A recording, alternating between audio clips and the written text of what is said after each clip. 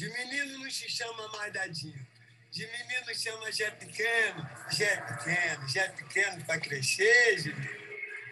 Se encher, vai com eu, que eu vá com se encher, Jé pequeno.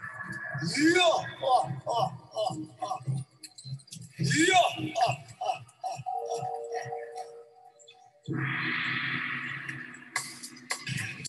Tadinho, virou Zé Pequeno e caiu matando.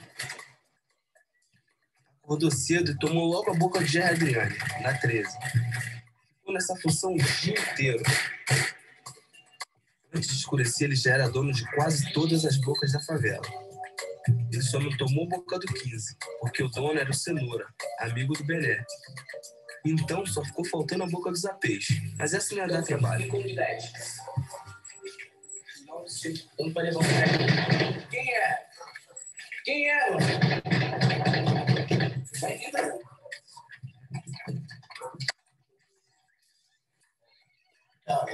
Porra, Dadinho.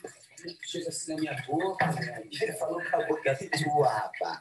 Quem falou que a boca é tua, cara? Qual é, Dadinho? Dadinho é o caralho, meu nome agora é Zé Pequeno, O porra. nome dele é pequeno, tá entendendo? E tu vai cair, filha da puta. não, mata não, que ele já entendeu. Não, Neguinho? Pode ficar com a boca aí que eu não quero nada, não. Garoto. Vou sair saindo que eu não quero alegação, valeu? O certo era aproveitar aquela chance para vingar a morte do meu irmão. saindo, na moral. Vai ficar vivo, neguinho, mas vai ficar vivo aqui, trabalhando pra nós. Tá escutando? Pensar é fácil. Ô, ô, Pra onde, moleque? No outro contexto, Zé. Como é que é o seu nome?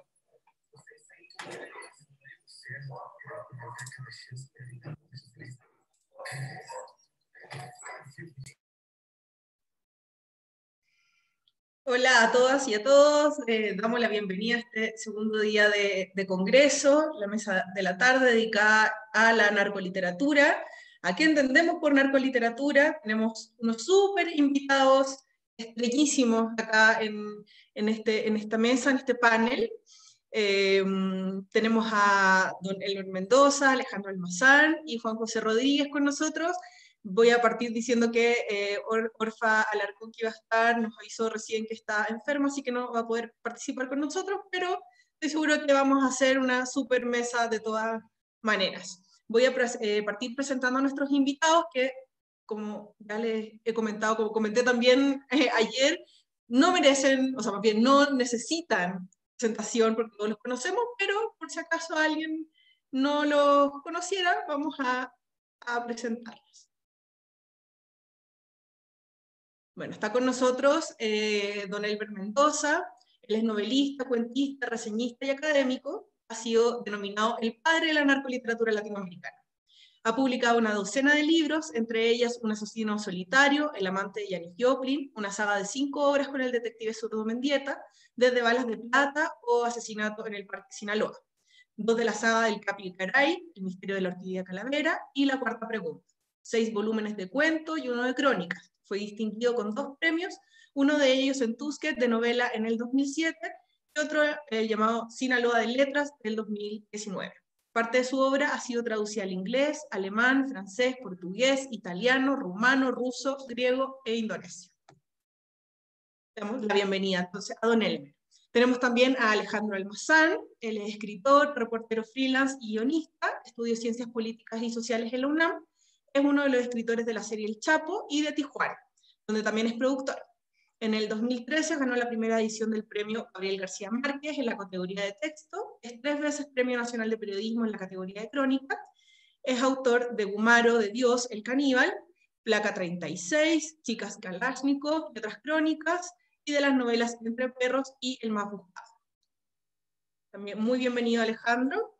Y tenemos por último Juan José Rodríguez, que es narrador y periodista. Fue director del Departamento de Extensión Académica y Difusión Cultural de la Universidad de Sinaloa y de prensa de la Comisión de Desarrollo Turístico de Mazatlán, colaborador del Cuento, Plural, Revista de la Imaginación, Sábado y Tierra Adentro. Es premio estatal de Crónica en el 1997, organizado por el Colegio de Bachilleres, Premio Nacional de Cuento Gilberto Owen por el libro inédito Los Hombres del Ave María, Premio Mazatlán en el 2003, su obra está incluida en el libro El Carnaval de Mazatlán y en la antología Narcocuentos. sus novelas, eh, las que aparecen aquí, las que nos puso él, pero ya voy a, complementar esta información. El náufrago del mar amarillo, Asesinato en una lavandería china, El gran invento del siglo XX y Mi nombre es Casablanca, la que recibió en el 2004 el premio Mazatlán de Literatura y La Casa de las Lobas. La Casa de las Lobas es otra novela del año 2005, también tiene La novia de Houdini en el 2014 y Lady Metralla en el 2017. Así que también muy agradecida de que estén con nosotros compartiendo esta, esta super mesa del día martes en la tarde. Por acá, muy temprano aún todavía, en Chile ya es un poquito más tarde. Así que les damos la, la bienvenida, estamos felices de estar con ustedes y, y bueno, esperemos que tengamos una conversación súper amena, entretenida, la dinámica ya la conocen, son preguntas, las tienen que responder, tienen entre 5 y 10 minutos para responder y luego tendremos las intervenciones del público. Así que ya lo, los dejo ahora con Danilo, que les va a hacer las preguntas. Hola, eh, ya. Eh, bueno, es un gran honor estar en, muy grande, estar en conjunto recibiendo realmente a tan eh, grandes y, y talentosos escritores justamente la mesa se llama Crear Narcoliteratura.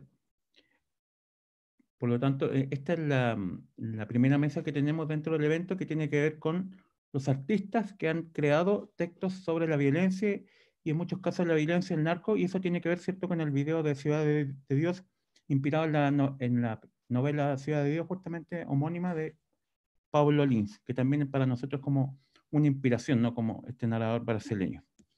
Vamos a ir en, este orden, eh, más o menos eh, establecimos, ¿no? Voy a hacer una, una pregunta. Eh, primero le vamos a dar la palabra a Elmer. después Alejandro y Juan José cerraría como cada una de las preguntas, ¿no? Este trío de respuestas. Vamos entonces con la primera pregunta justamente, ¿existe la narcoliteratura? ¿Por qué sí o no como una corriente específica, como un subgénero literario, un modo diferencial? ¿Se diferenciará por lo mismo? Suenan muy encadenadas, ¿no? Dentro del relato policial y a la vez una pregunta ya más personal, ¿no? ¿De qué modo se vincula este formato con su propia obra particular? Y entonces para esta respuesta dejamos eh, a don Elmer Mendoza. Eh, bueno, buenas tardes. Eh, un saludo a todos. Abrazos, Danilo. Muchas gracias por la invitación y también eh, les doy las gracias por organizar esta, pues este congreso tan particular y creo que mm, a mí en lo particular me agrada muchísimo que el mundo de la academia se ocupe de, digamos, de una literatura que registra lo que está pasando en la calle, lo que está pasando con, con un alto porcentaje de la, digamos, de los habitantes del, continente y del mundo, así. Porque no hay un país, o bueno, ya exageraría, creo que hay muchos países, o todo, casi todos los países tienen una banda, porque en casi todos los países hay alguien que necesita una sustancia adicional para pasar bien el día. El, el, honestamente yo poco me ocupo de, de, de, las clasificaciones de lo que hago, pero me gustan mucho.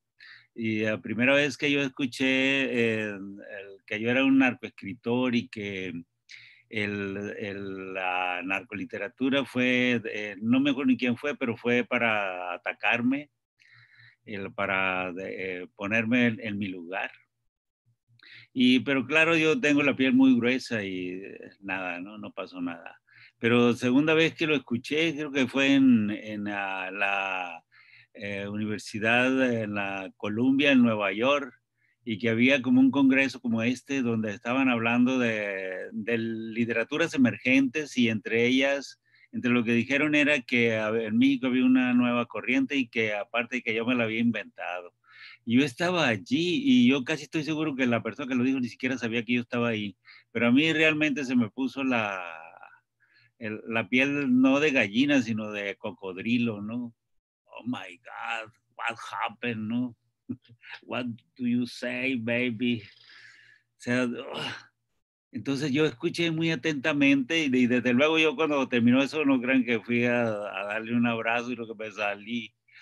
Me salí ya después el que organizó esa cosa, pues ya fui y platicó y me dijo, ¿qué te pareció? Pues no sé, no sé, no sé. El, yo creo que existe, yo creo que existe, el, porque si hago un símil de que la literatura amorosa es la literatura que habla de amor y que Bárbara Cartland consiguió hacerse un castillo con sus eh, regalías, pues yo creo que la, mientras eh, ahora vemos muchísimos escritores que trabajamos este tema, que eh, trabajamos sobre este registro, que rescatamos a veces, o muchas veces, historias reales, o que muchas veces recreamos las historias a partir de la imaginación y partir de, de alguna noticia o de, alguna, de algún cuento de, de, de cantina que tiene que ver con eso. Entonces yo, yo sí creo que hemos conseguido crear una estética a partir de un tema y bueno, al final yo creo que agradezco la denominación, el nombre, el, nombre que existe y desde luego no es una cosa que yo tenga consciente. Yo en una ciudad que es famosa porque desde hace muchísimos años es como el, el fue el punto de referencia en, en México, Culiacán y incluso se dice que aquí los culichis inventaron el narcotráfico industrial, que ellos abrieron la puerta a los colombianos de, de, para, con las rutas que tenían establecidas y que eran un montón de rutas. Y entonces el, al final lo que yo hice fue como contar esas historias, que son historias que se escuchaban en todas partes y, la, y rescatar esas historias y sobre todo también eh, recuperar el lenguaje, el lenguaje que, la, que, está, que era muy cercano a las bandas o que era muy cercano a la forma en que se nombraba las acciones de las bandas y lo que hacían la, las bandas, es decir, desde la, lo que tenía que ver con los nombres de lo que traficaban, el mismo nombre de ellos como traficantes, con los operativos, el nombre del producto los santos a, que, a los que le deben pleitesía, la, los autos que utilizan, el vestuario, desde de, las botas hasta los sombreros, es decir, el hacer un registro del, eh, de todo eso, ¿no? Y simplemente el, el contar cualquier historia que tuviera eh, que ver con lo que había escuchado. Yo quiero pedir a Enjoa que me haga una señal porque yo sí no, no tengo el WhatsApp a la vista y seguramente no sabré nada, hazme nomás así algo porque te tengo enfrente. Entonces, lo que yo hice fue eso, es decir, el, a mí el tema me eligió y dentro de mi proyecto literario lo que sí es, eh, siempre estaba como, si voy a ser escritor voy a ser bueno y para ser bueno, pues bueno, tengo que aprender a trabajar eh, ciertos códigos, aprender de, de, de, ciertos maestros a partir de James Joyce y, y, de, es decir, aprender con los mejores como debe uno hacerlo.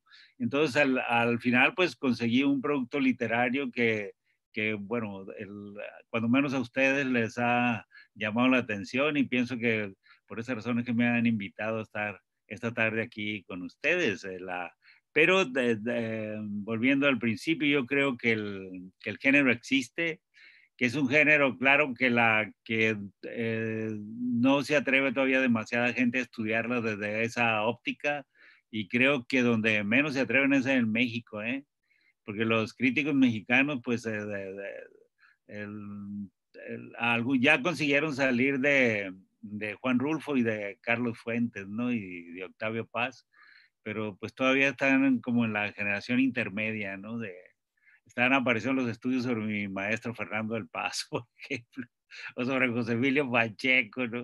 Es decir, todavía no llegan a nosotros. Yo espero que ahora la, la pandemia les dé tiempo de llegar a nosotros y bueno, la, es decir, estrictamente que se ocupen como, como esto, como ustedes lo están haciendo, porque sí hay muchos estudios que tienen que ver con nuestra literatura, pero desde el punto de vista del espacio, de, la, de lo que es el, el trabajo del espacio. Por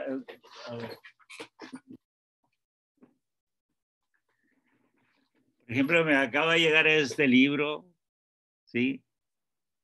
Que es de Jordi Canal, que dice Vida y Violencia, Elmer Mendoza y los espacios de la novela negra en México.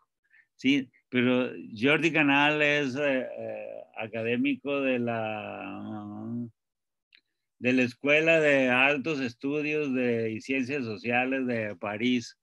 Entonces, pues estaba muy lejos de Culiacán o de, de la Ciudad de México. Entonces, pero le digo, hay, como esas cosas todavía. Yo creo que hay excelentes trabajos de, de, lo que es el, lo que tiene que ver con nuestra literatura en eso, pero, pero sí, eh, todavía no terminan, o al menos eh, yo no conozco trabajos así de la, el publicado, digamos, fuertemente como el que ustedes se hicieron y que me hicieron el honor de, de invitarme y que cuál honor, me dieron un montón de trabajo estar leyendo textos allí. No, no, no es cierto. Lo hice, hice, con mucho gusto eso. Bueno, eso sería mi participación en esta parte. Muchas gracias. Muchas gracias a ti, Elmer. Eh, Alejandro, entonces, misma sí, pregunta. Eh, gracias, gracias. No, y pues también muchas gracias por, por la invitación, gracias por, eh, por este espacio y bueno, estoy cobijado además por dos cracks, ¿no? Elmer y Juanjo, la verdad, muchas gracias. Eh, yo quiero empezar más bien por la segunda pregunta, cómo llegué a la obra y luego para entender si fue lo, del, el, lo del narco. Yo llegué evidentemente a, a este tema por, por, ser reportero, ¿no? Yo, mi origen es, es el ser reportero, entonces andaba mucho en los temas de la violencia me facilitaban los temas de la violencia porque tenía un contexto, es decir, yo venía de la violencia, tenía parientes que estaban cercanos a, al narco, etc., a la violencia, entonces, bueno, para mí era como un poco fácil entrar a, este mundo, entonces ahí fue donde, digamos, como que me, topé con él. Cuando ya viene, digamos, la, hacia la literatura, pues decido que, sí, que quiero escribir, y bueno, yo me acuerdo mucho de los dos libros que agarré casi, casi como eh, que los abracé y que dije, esto es lo que yo quiero es, es, escribir. Uno es el asesinato en la bandería china y el otro es el, este, el amante de Janis Joplin, ¿no? Entonces dije, ah, claro, o sea, esto es lo que yo quiero escribir, pero yo no entendía ni sabía que eso era algo que tenía que ver con el narco, ¿no?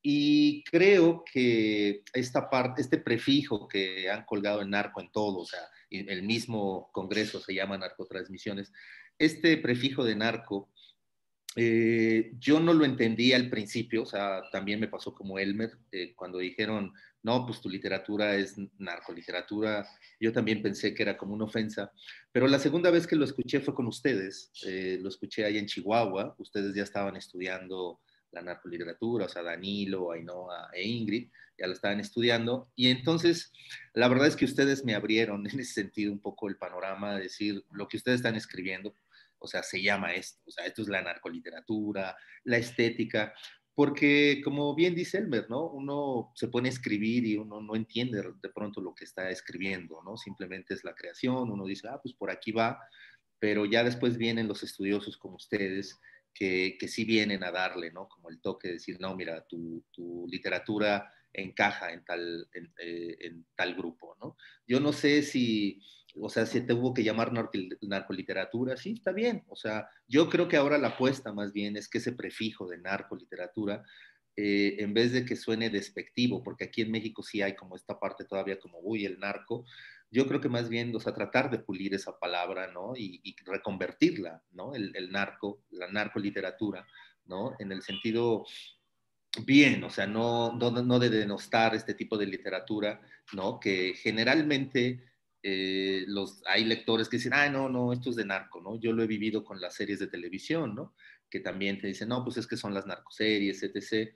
Pero sí creo en el fondo que eh, que a pesar de toda de, de, de, la estética, hay un lenguaje, hay hechos, estamos tratando de decirle a la gente qué es lo que está pasando en México, ¿no? Esta compulsión de la violencia, tratamos un poco medio de explicarla, nos ha costado, ¿no? Eh, a muchos reporteros les ha costado incluso la vida para poder entender, pero como escritores yo he absorbido, digamos, como toda esa información de los reporteros para poder crear, ¿no?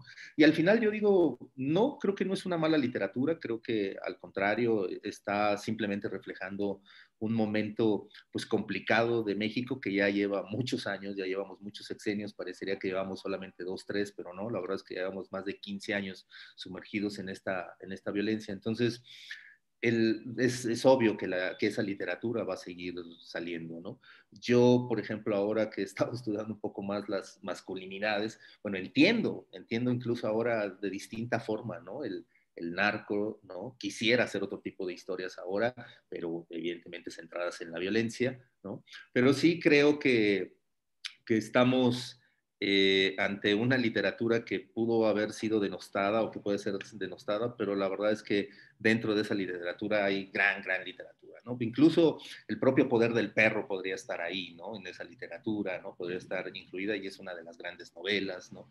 Las novelas de Elmer, bueno, pues no se diga, ¿no? O sea, son, son novelas que están ahí ya en el canon y que uno dice, eso es lo que yo quisiera contar, porque no solamente se está contando o, se está aprovechando del narco, porque ni siquiera nos aprovechamos del narco, creo yo. O sea, creo que, o sea, a lo mejor podríamos estar ganando plata por hablar del tema, pero no lo estamos, yo creo yo, lo estamos este, aprovechando al máximo. Ah, yo recuerdo cuando a mí me dijeron, oye, va a ser la serie de, del Chapo en, en Netflix, pues sí les dije, bueno, pero vamos a contar un poco el narcoestado, porque si solo vamos a contar como, eh, si ustedes quieren hacer una, una, serie tipo El Señor de los Cielos, pues yo no le entro, yo quiero hacer algo, algo más profundo, porque bueno, pues vengo del periodismo, ¿no?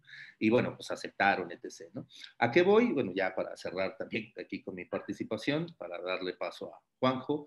Eh, sí, sí creo que hay una narcoliteratura, ustedes me convencieron, yo, yo tenía una, este, no lo entendía muy bien, pero de verdad me, convencieron las pláticas que he tenido largamente con Ingrid, me, lo llevaron a, decir, sí, hacemos narcoliteratura y qué bueno, y bueno, pues ahora hagámosla bien y, defendamos a la narcoliteratura, ¿no? Defendamos esta estética y bueno, pues básicamente eso, para terminar. Muchas gracias, Alejandro. Eh, Juan José, ya, ya fuiste invitado. Adelante, entonces. ¿Qué tal? Bueno, pues como, como comentaban mis compañeros, este es un fenómeno global que a todos nos está alcanzando de alguna u otra manera y también hemos visto que, digámoslo así, se ha legitimado más la novela policial. Va un caso. Graham Greene, un escritor muy leído en los años 50, 60, no ganó el Nobel, y lo comentó Arthur Lunskis cuando habló por qué no ganó Borges, porque justamente hacía novelas policiales. Y era mal visto eso.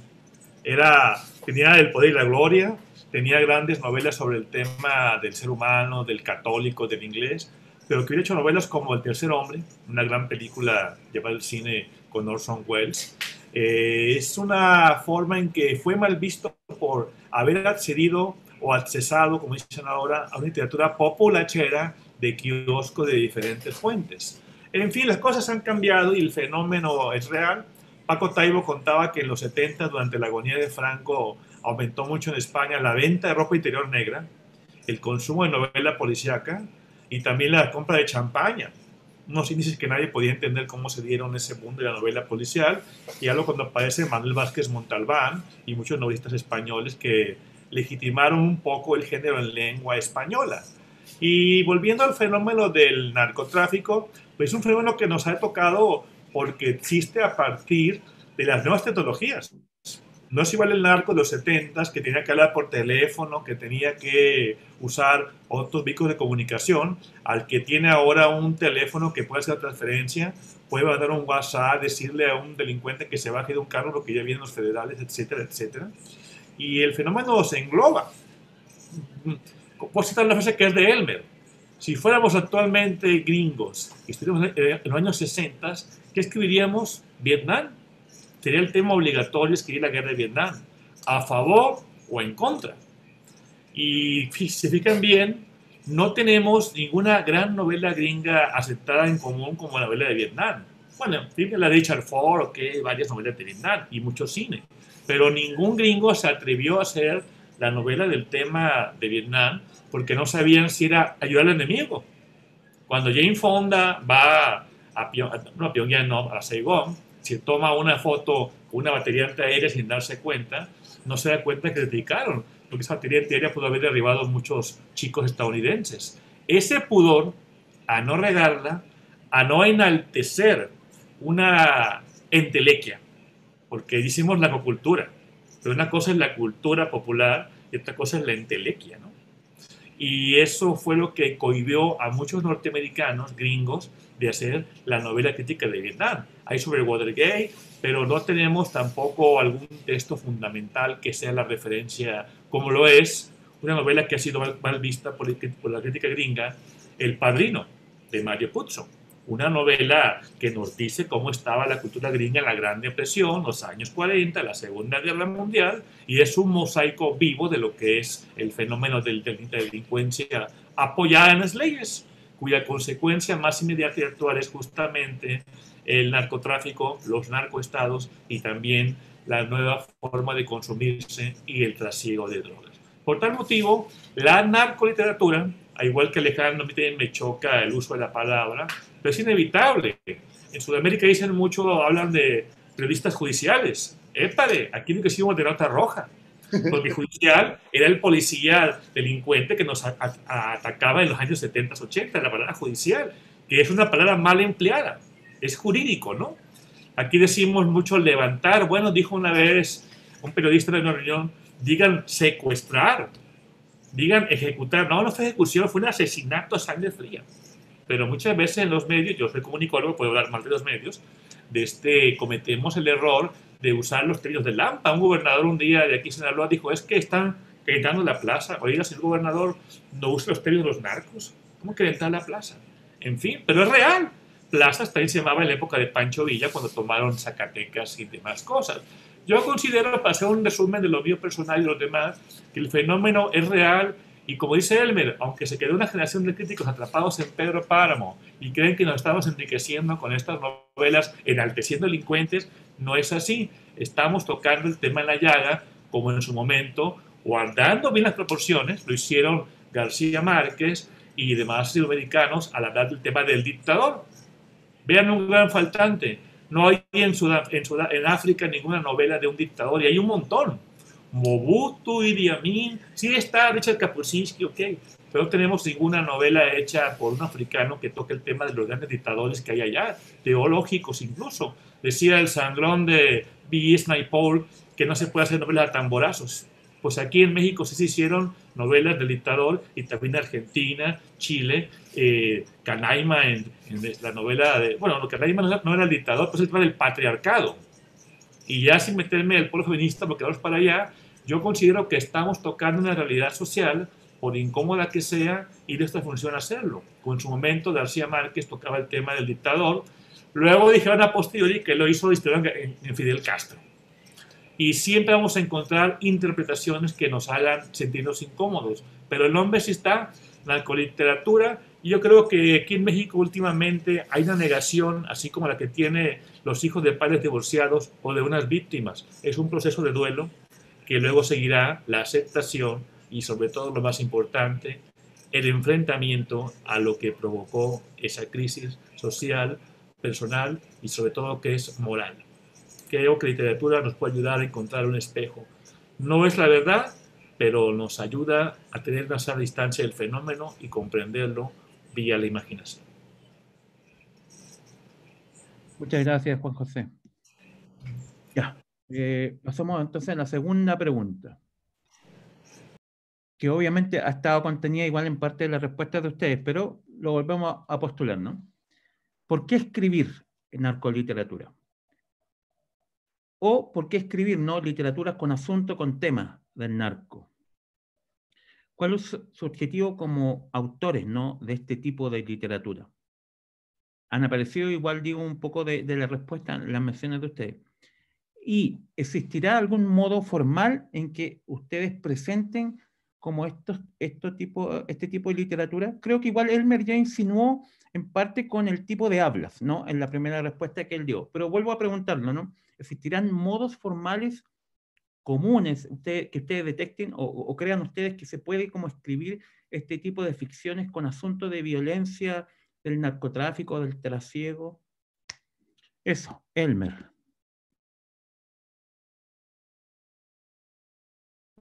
¿Cuál es el segundo planteamiento que haces? El la segunda parte, el primera era ¿por qué escribir desde el punto de vista de usted como de los temas? ¿Por qué ocupar estos temas para hacer su literatura de la violencia? ¿Por qué tomar el tema de la violencia narco? Y después es como refinándolo, así ustedes consideran que aparte de tener interés eh, los temas, los asuntos como del, de, la, de lo narco para su literatura, se habrán como formas específicas.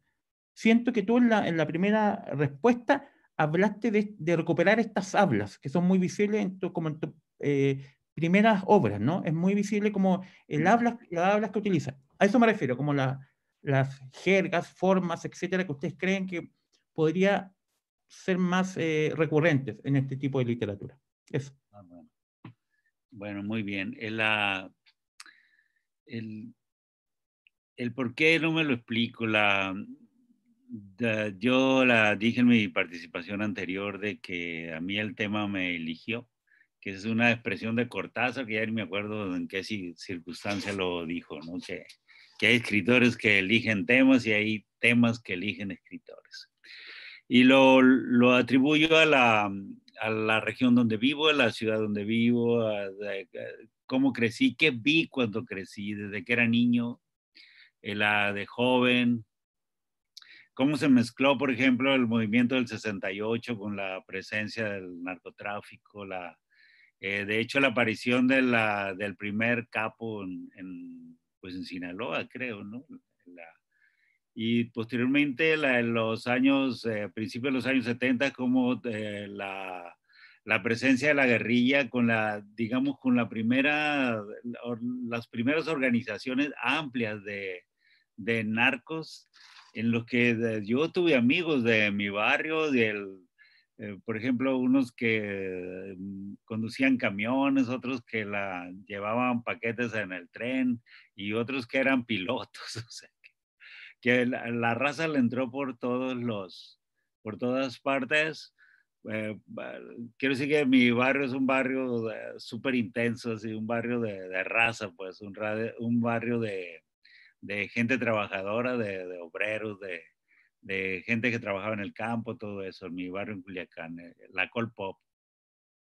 Y entonces, eh, digamos, desde luego yo sin saberlo, eso como que me fue dando de un universo que, que no solamente era lo que yo aprendí en la escuela o lo que yo soñaba hacer, eh, de que yo quería ser científico, si, o lo que yo le, cuando me convertí en lector, lo que aparecía en, los, en las novelas que yo leía, ¿sí? Sino que había el, algo donde mis compañeros con los que yo jugaba béisbol a veces la, no estaban porque se habían ido. Y desde luego que aparecieron los primeros muertos. Y los primeros muertos, pues se la traían, dicen que los muertos de la, del narco siempre tienen un mensaje, pues es cierto, estos traían un mensaje muy fuerte para nosotros, que era un mensaje a la raza del barrio, y digamos que yo crecí en eso. Eh, la, cuando yo el, me empiezo a escribir, el, yo empiezo a escribir, mis textos están saturados de violencia, mi primer libro, pero de violencia que tiene que ver el más con el otro fenómeno que, que me tocó, que fue el de la, el de la, de la guerra, el de la guerrilla, y, y que me tocó a la par, digamos, pero a mí como joven, me, como yo nunca me metí con, con temas del narco y con el otro sí me metí un poco, entonces como que me tenía, me tocó más. Entonces, el, el, ese hecho eh, me hizo que primeros textos yo los trabajara sobre eso y sin también eh, el, introduciendo algo que tenía que ver con lo fantástico, que eh, todavía sueño con escribir más fantástico que, que de la realidad.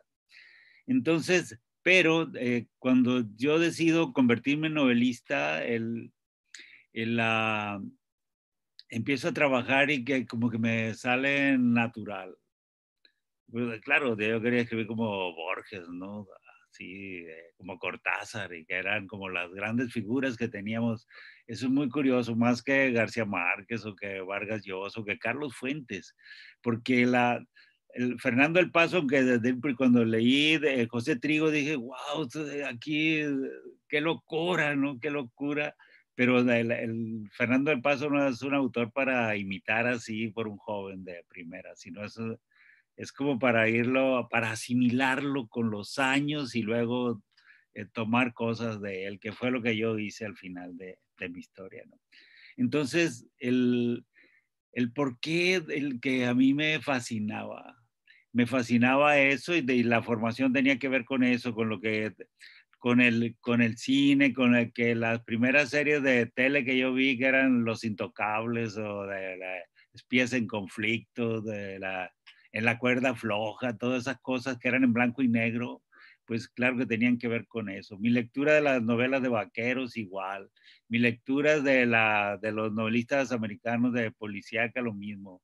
El, el México hubo un cómic policíaco que también, que se llamaba así, la novela policíaca. Las, eh, el, los cómics que llevaban como personajes uh, míticos como El Santo, cosas de esas, igual eran, eran casos policíacos los que tenían que, resolver. Entonces, digamos que la formación, mi formación sentimental fue, la, pienso que muy sólida.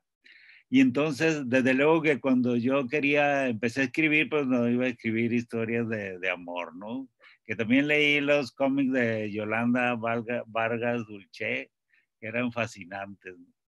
Entonces, la, ¿por porque nunca tuve, digamos, como una explicación de toma de conciencia, ni la tengo ahora y ni la voy a tener. ¿eh? Es decir, yo escribo porque yo estoy aquí, es lo que me toca ver, lo que me toca sentir, pero yo no quiero denunciar a nadie, ni redimir a nadie, ni, ni nada que tenga que ver con eso pero a mí me interesa mucho el, tema formal porque la, ya mi formación universitaria, eh, allí siempre se hablaba, pues claro, yo me daba cuenta que los eh, autores que estudiábamos ahí pues eran los genios y básicamente en mis cursos de literatura inglesa pues a James Joyce, ¿no? Que de Shakespeare, Golding y, y, y em, este, James Joyce, ¿no? Wow, James Joyce. Eh, bueno, ¿qué tiene James Joyce? Eh, Virginia Woolf, bueno, ah, Virginia Woolf, pero James Joyce. Es decir, mi maestro siempre, él era joyciano, volvía y, y decía que él, él me puso el reto, o yo se lo puse a él, que, la, que Joyce era el gran jefe y que era insuperable. Y yo pues voy y le digo, yo lo voy a superar. Pero eso lo que me obligó fue a leer el Ulises eh, como dos o tres veces así, cuidadosamente, intentar descubrir qué había hecho, que todavía no lo sé muy bien. Porque todos dicen, ah, el monólogo interior, y, ah, ña, ña, ña. Yo, ah, ah, ah, yo no creo en eso. Yo creo que hay que algo ahí, que es una bomba, que es una bomba, ¿no? Y entonces, claro, eso me lleva a la otra parte, que ¿qué es lo que hace él? Digo, bueno, si manda a Stephen Dadalus a recorrer la, eh, Tuplin, y va por los bares y se echa sus, cervezas y platica y una botanita y hasta que llega con Mary Bloom. Entonces digo, es que aquí es la recuperación del espacio de la ciudad. Digo, yo no le llamo espacio de la ciudad lo que hay. Es Culiacán, pero de Culiacán acá, ¿qué hay en Culiacán? Pues por recorrer la calle Obregón y que hay casas, una refresquería, un bar, una iglesia. Es decir, un sitio donde venden comida pero sobre todo hay un lenguaje en la calle, hay un lenguaje en la calle, que ese estaba en, mi esquina, en mi barrio, estaba en el, eh, con mis compañeros de, de secundaria, de prepa, la, estaba en la, cuando empecé a ir a los lugares de mala nota que le dicen, ahí, ahí estaba el lenguaje, es decir, estaba porque además había shows donde con actores callejeros que contaban chistes ahí violentísimos pero a mí lo que más me gustaba era eso, es decir, hay una propuesta lingüística y había historias también, porque los borrachos contaban historias. Y yo me sentaba con ellos o me sentaba al lado y los oía contar historias y historias. Yo, el, amante de Janis Joplin, yo lo saqué de allí, de Don Quijote. Sí, ahí, de ahí lo saqué una historia que la contaron como dos o tres veces y dije, ah, voy, voy. el caso de un asesino solitario, de Gracias Alex, mencionarlo. El, el, el, allí en las cantinas tenían todas las teorías sobre el, cómo lo habían hecho, quién lo había ordenado, a qué horas. Eh, es decir, era fascinante la, la, la, el desarrollo de la imaginación etílica en esos sitios. ¿Y qué hace un escritor? Pues registrar eso. Yo con mi libretita y anotaba de vez en cuando cosas para que ellos no me vieran o cuando iba al baño. Entonces, y de allí el lenguaje también.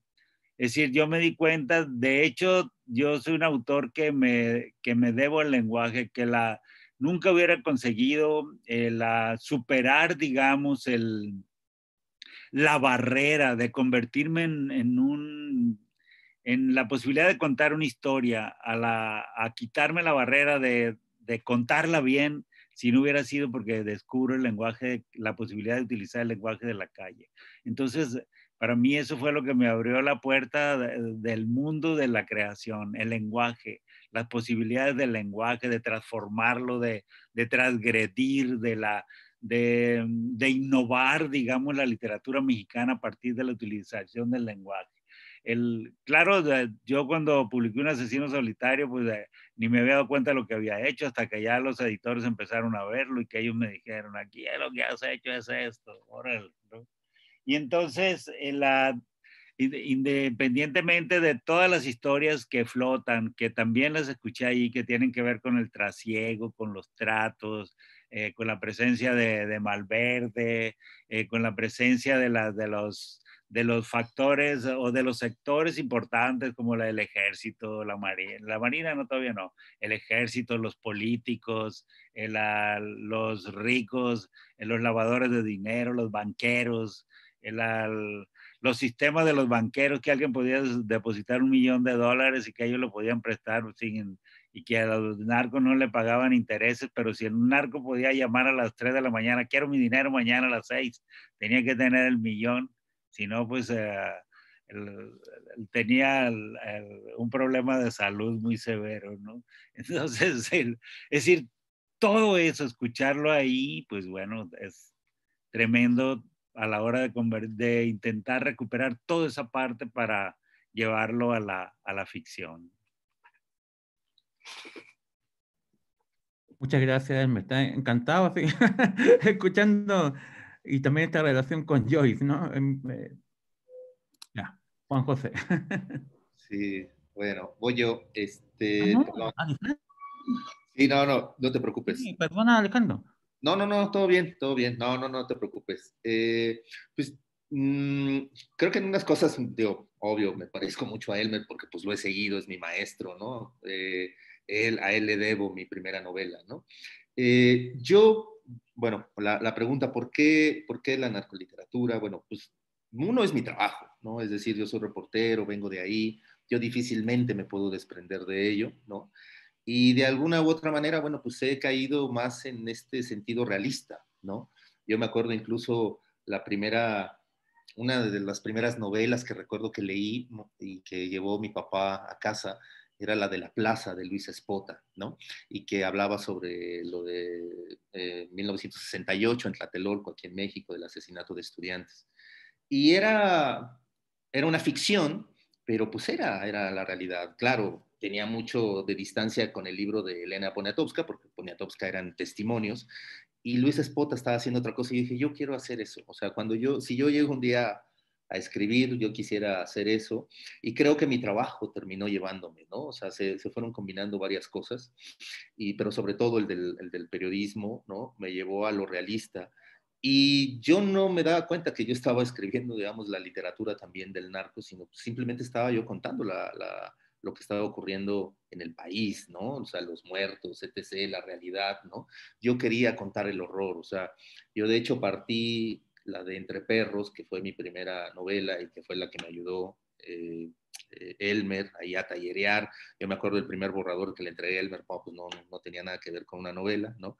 Pero eh, en, ese, en esa novela al final lo que yo quería contar era, era el horror, o sea, era como, yo dije, bueno, si cuento esta novela y le digo a la gente que están matando a la, hacia las personas y que el narco está en la puerta de su casa, la violencia, pues a lo mejor van a entender.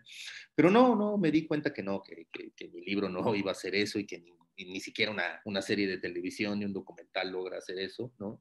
Pero sí partí de contar el horror, ¿no? Y después me fui dando cuenta que estaba yo inmerso en, eh, en el mundo, en el mundo de la masculinidad tóxica del narco, ¿no? Y empecé a contar, digamos, como las historias de, de los malos y, y, me alejé un poco de, la, de, las víctimas, ¿no? Siento que ahí en mi literatura yo sí creo que he fallado porque dejé a un lado las víctimas y me dediqué más a los, a los victimarios, entonces hoy quiero volver a, a, las víctimas, mm, por una cuestión personal, no porque creo que le, que le deba algo a la literatura, sino simplemente es por una cuestión personal, porque creo que, que en la literatura, bueno, pues uno escribe para de los buenos, de los malos, ¿no? Eh, y en general, pues todos son malos, ¿no?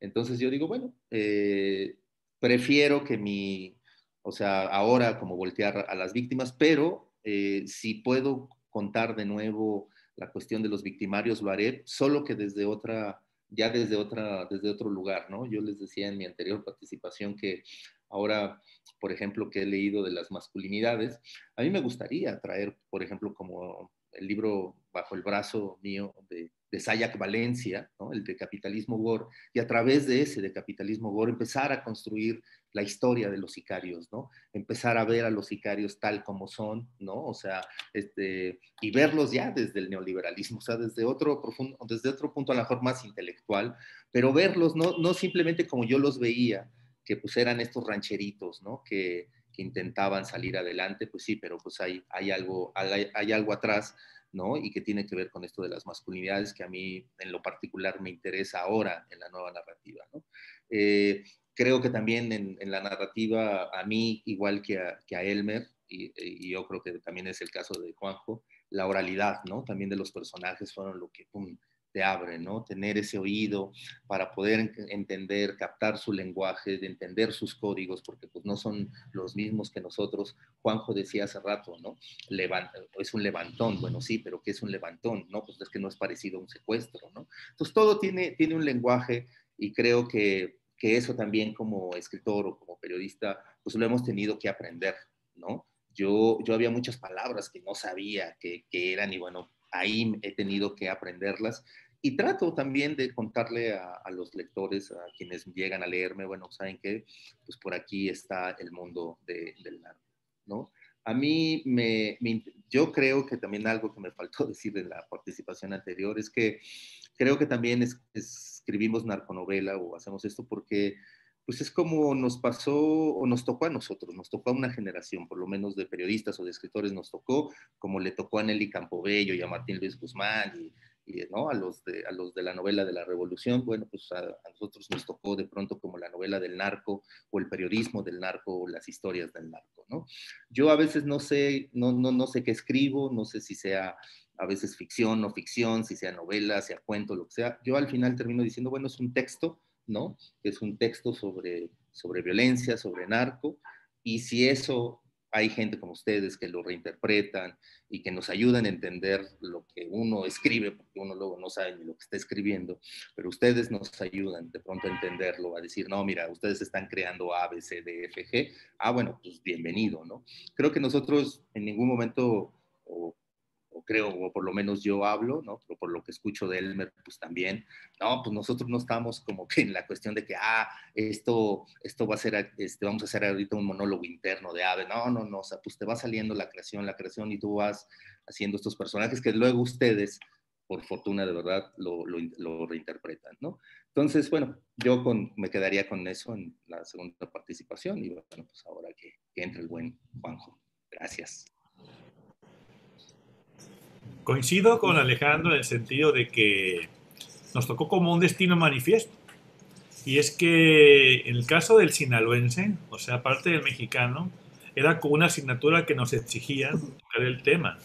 Yo conocí a Gustavo Sáiz en, allá en 1988, aquí en Mazatlán, y él nos comentaba en una charla que le interesaba el tema del narcotráfico desde hace mucho. Incluso empezó a escribirlo antes de que fuera el caso de Carlos Quintero que, y Enrique Camarena, que detonó mucho el fenómeno a nivel informativo. Antes no se hablaba de eso, es lo que ocurría en las sombras. Se decía que había acuerdos, en fin. Solamente ese caso provocó la explosión mediática del fenómeno.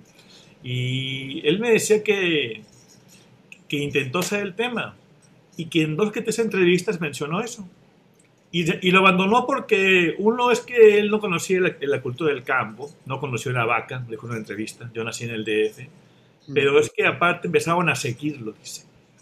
Empezó a llegarle información. De repente encontró en su casa un sobre con un organigrama del narco nacional con muchos políticos. Epa, le dijo a él. Y notó que hubo gente que lo seguía para darle información y, dije, y mejor se dejó el proyecto. Y esa asignatura pendiente ha ido creciendo porque hemos tocado el tema del narcotráfico tiene muchas variantes. Tanto el estado, el, el narcoestado, el jefe tutelar, la, la posición de las mujeres, los asesinos seriales, el sicariato. Y es como los argentinos que hablan del fútbol, es hablar de la vida. Hablan de fútbol, pero hablan de la vida mientras hablan de que Maradona anda en la droga. Sí, el hijo de fulano anda en la droga también. Y que el problema del Boca Juniors, sí, nosotros también tenemos el problema. Y el narcotráfico se volvió la lengua franca, el lenguaje común de muchas personas, porque aquí en México el narco y en Colombia era para muchos la posibilidad única de ascenso social. Aparte de la política, en unas sociedades con crisis económicas, con economías cerradas, era una de las pocas formas de tener un ascenso social distinto a las oligarquías, donde no hubo revoluciones o quedaron interrumpidas como la nuestra. Esa situación del fenómeno del narco como una realidad alterna, como una economía paralela, existe. Y en los Estados Unidos actualmente es mucha la gran cantidad de ciudades, muchas, perdón, y, y, comunidades en que hay poco vida económica y el negocio de droga, que es un negocio efectivo, es el catch que mantiene el circulante. Sí, siempre los critican que somos los proveedores, pero de Ciudad Juárez a Chicago son millas y millas de freeways con vigilancia de helicópteros, cámaras al modo estadounidense, y nunca vemos que tengan un tráiler con droga como aquí, ¿no? Es rarísimo que veamos noticias en los Estados Unidos del alcance nuestro de detenciones de drogas. Y ese fenómeno, como parte del patio trasero, no olvidemos que es en los años 70, 60, cuando Richard Nixon declara la guerra al narcotráfico, cuando se le viene encima a Vietnam y cuando el patrón oro eh, se vuelve a la economía mundial. En la Segunda Guerra Mundial era el dólar, y Francia y Alemania se rebelan, Charles de Gaulle, los gringos, y no, ahora el oro va a ser el patrón de la economía, y ante esa carencia, pues se vuelve el narcotráfico una manera de poder poner el pie en Sudamérica y México. ¿Por qué nunca hubo ningún problema en, Bolivia y nomás se volvió Colombia una democracia y también Venezuela empezó a haber problemas de narcotráfico ahí, ¿no? Qué casualidad que justamente en ese momento los Estados Unidos empezaban a fiscalizar a los países en que se cultivaban o se transmitían los productos. Yo sigo en Sudamérica mentalmente, América del Sur, y yo leí muy joven El mundo es ancho y ajeno de Ciro Alegría, una gran novela casi telúrica como las de antes, y tiene un capítulo entero dedicado al cultivo de la cocaína, de la coca, de la coca, la planta. Vemos cómo se siembra, cómo se pone a sescar y hay que quitarla, como algo natural e ingenuo y lo que esperan que sea. Un producto como el Viagra o un relajante que, que se consumía de manera recreativa y se sigue consumiendo por las alturas. Esa visión, esa penalización del consumo y tráfico de drogas viene mucho de los Estados Unidos, porque en México y en todos los países manejaban el problema como era su, su arbitrio y necesidades. Hay ciudades pequeñas como Mazatlán que la droga la vendía algún anciano en una esquina sin hijos, una señora viuda que tenía su lugar, en fin. Pero de repente se ascendió al otro momento, a que se creaban economías paralelas y muchos cultivadores rurales de la marihuana se volvieron exportadores de la cocaína foránea y también se creó una macroeconomía que existió como una sociedad paralela y la literatura, pues creo que es la forma en que nosotros podemos recrearla.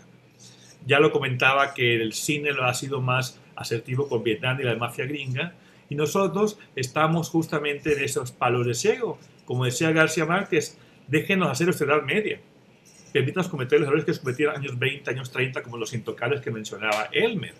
Y la literatura del fenómeno del narco es como la de los dictadores, lo dije antes, pero también una forma de entender y apresar y aprehender del fenómeno del narcotráfico, del trasiego de drogas y también de las economías y políticas atrapadas en los intereses generados por la, esa derrama súbita o repentinamente en contra de dinero en efectivo. Y en fin, en, en, la literatura siempre va a haber necesidad de incidir. Como decía William Saroyan, el escritor es el que va siempre contra la multitud, en el camino contrario. Nuestra misión es escribir lo que debemos. Como Elmer o como Almazán, yo también tengo novelas que no son del tema del narco, pero es una pulsión que tenemos que decir porque conocemos. Muchas veces la gente de fuera cree saber más que nosotros del tema del narco, ¿no? Y por mucho tiempo se vio al narco a nivel Ciudad de México, intelectuales de izquierda, como el rebelde de un gobierno corrupto que, que reparte a los pobres, en fin.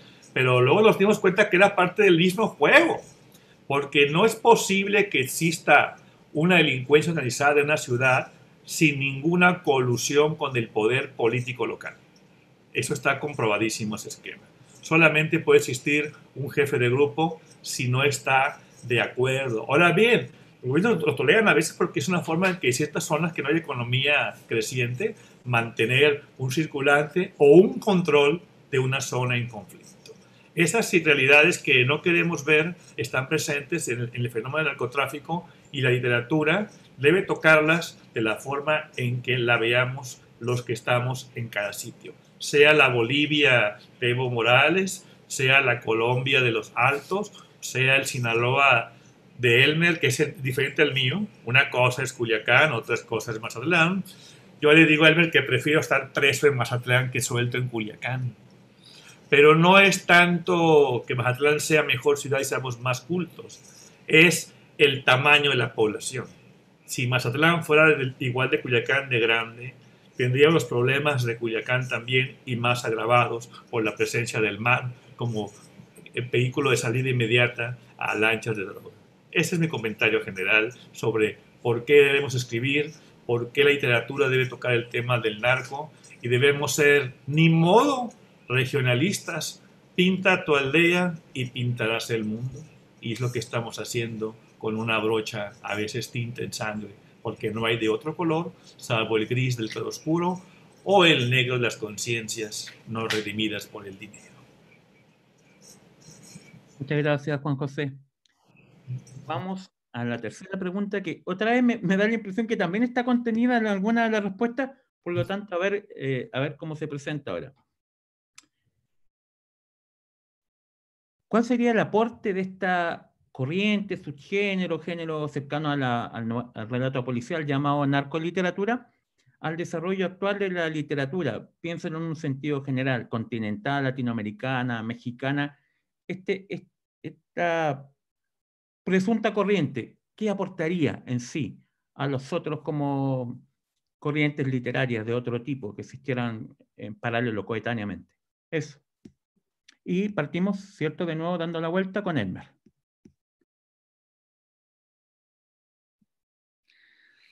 Eh, yo creo que el primer aporte es para que se entretengan en los cafés ahí, eh, criticándonos y despedazándonos y diciendo también que somos bestsellers, lo cual es completamente falso y que en las editoriales nos pagan muy bien porque hagamos esto, lo cual también es completamente falso.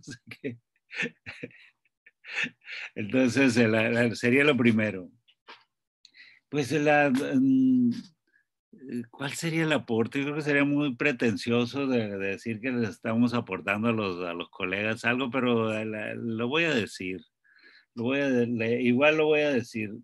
lo que creo es que nosotros eh, hemos eh, abierto una puerta que, que, era necesario abrirla. Es decir, si se quiere ver de esta manera, la, estamos haciendo la, los complementos que hacían a la literatura, que hacían falta a la literatura del mundo o a la literatura de América Latina. Eh, América Latina tiene una literatura muy poderosa, eh, la que está basada en tradiciones eh, también muy, muy, muy fuertes. Eh, la, los, nuestros maestros, pues así lo, lo hicieron, ¿no? La, yo ya he mencionado los nombres, que han contado como la, la esencia de, de, nuestros pueblos, la esencia histórica, la, la personalidad de la intrínseca de los pueblos, a tal grado que podemos pensar de que eh, todos los pueblos de América Latina son eh, Macondo, ¿sí? Son Macondo que, que, es, mucho más, más famoso que, que el pueblo de, de, Rulfo, ¿no? Más, más conocido. Entonces, podemos pensarlo así. Porque incluso la,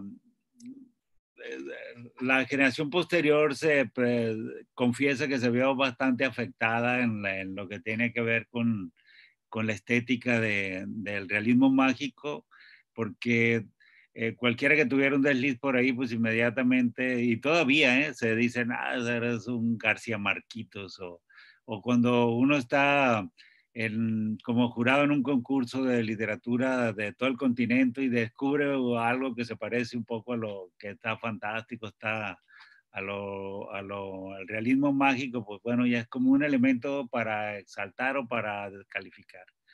Es decir, de que fue tan fuerte lo que ellos hicieron. Pero lo, nosotros yo creo que conseguimos romper eso, romper no solamente en los temas, sino que yo creo que también en las formas, porque los temas lo exigen. Es decir, el a contar el, eh, que si estamos haciendo una literatura uno, eh, con un registro que tiene que ver con la literatura de aventuras, el a, como mm, el reforzar, digamos, la literatura negra latinoamericana, darle eh, un rostro que tiene que ver con, con un delito que, que, es un delito mundial, que es un delito mundial esto, porque, vamos, yo ya dije que hay, al menos en todos los países que yo he estado del mundo, que son como unos 30, hay adictos, ¿sí? Hay adictos a algo.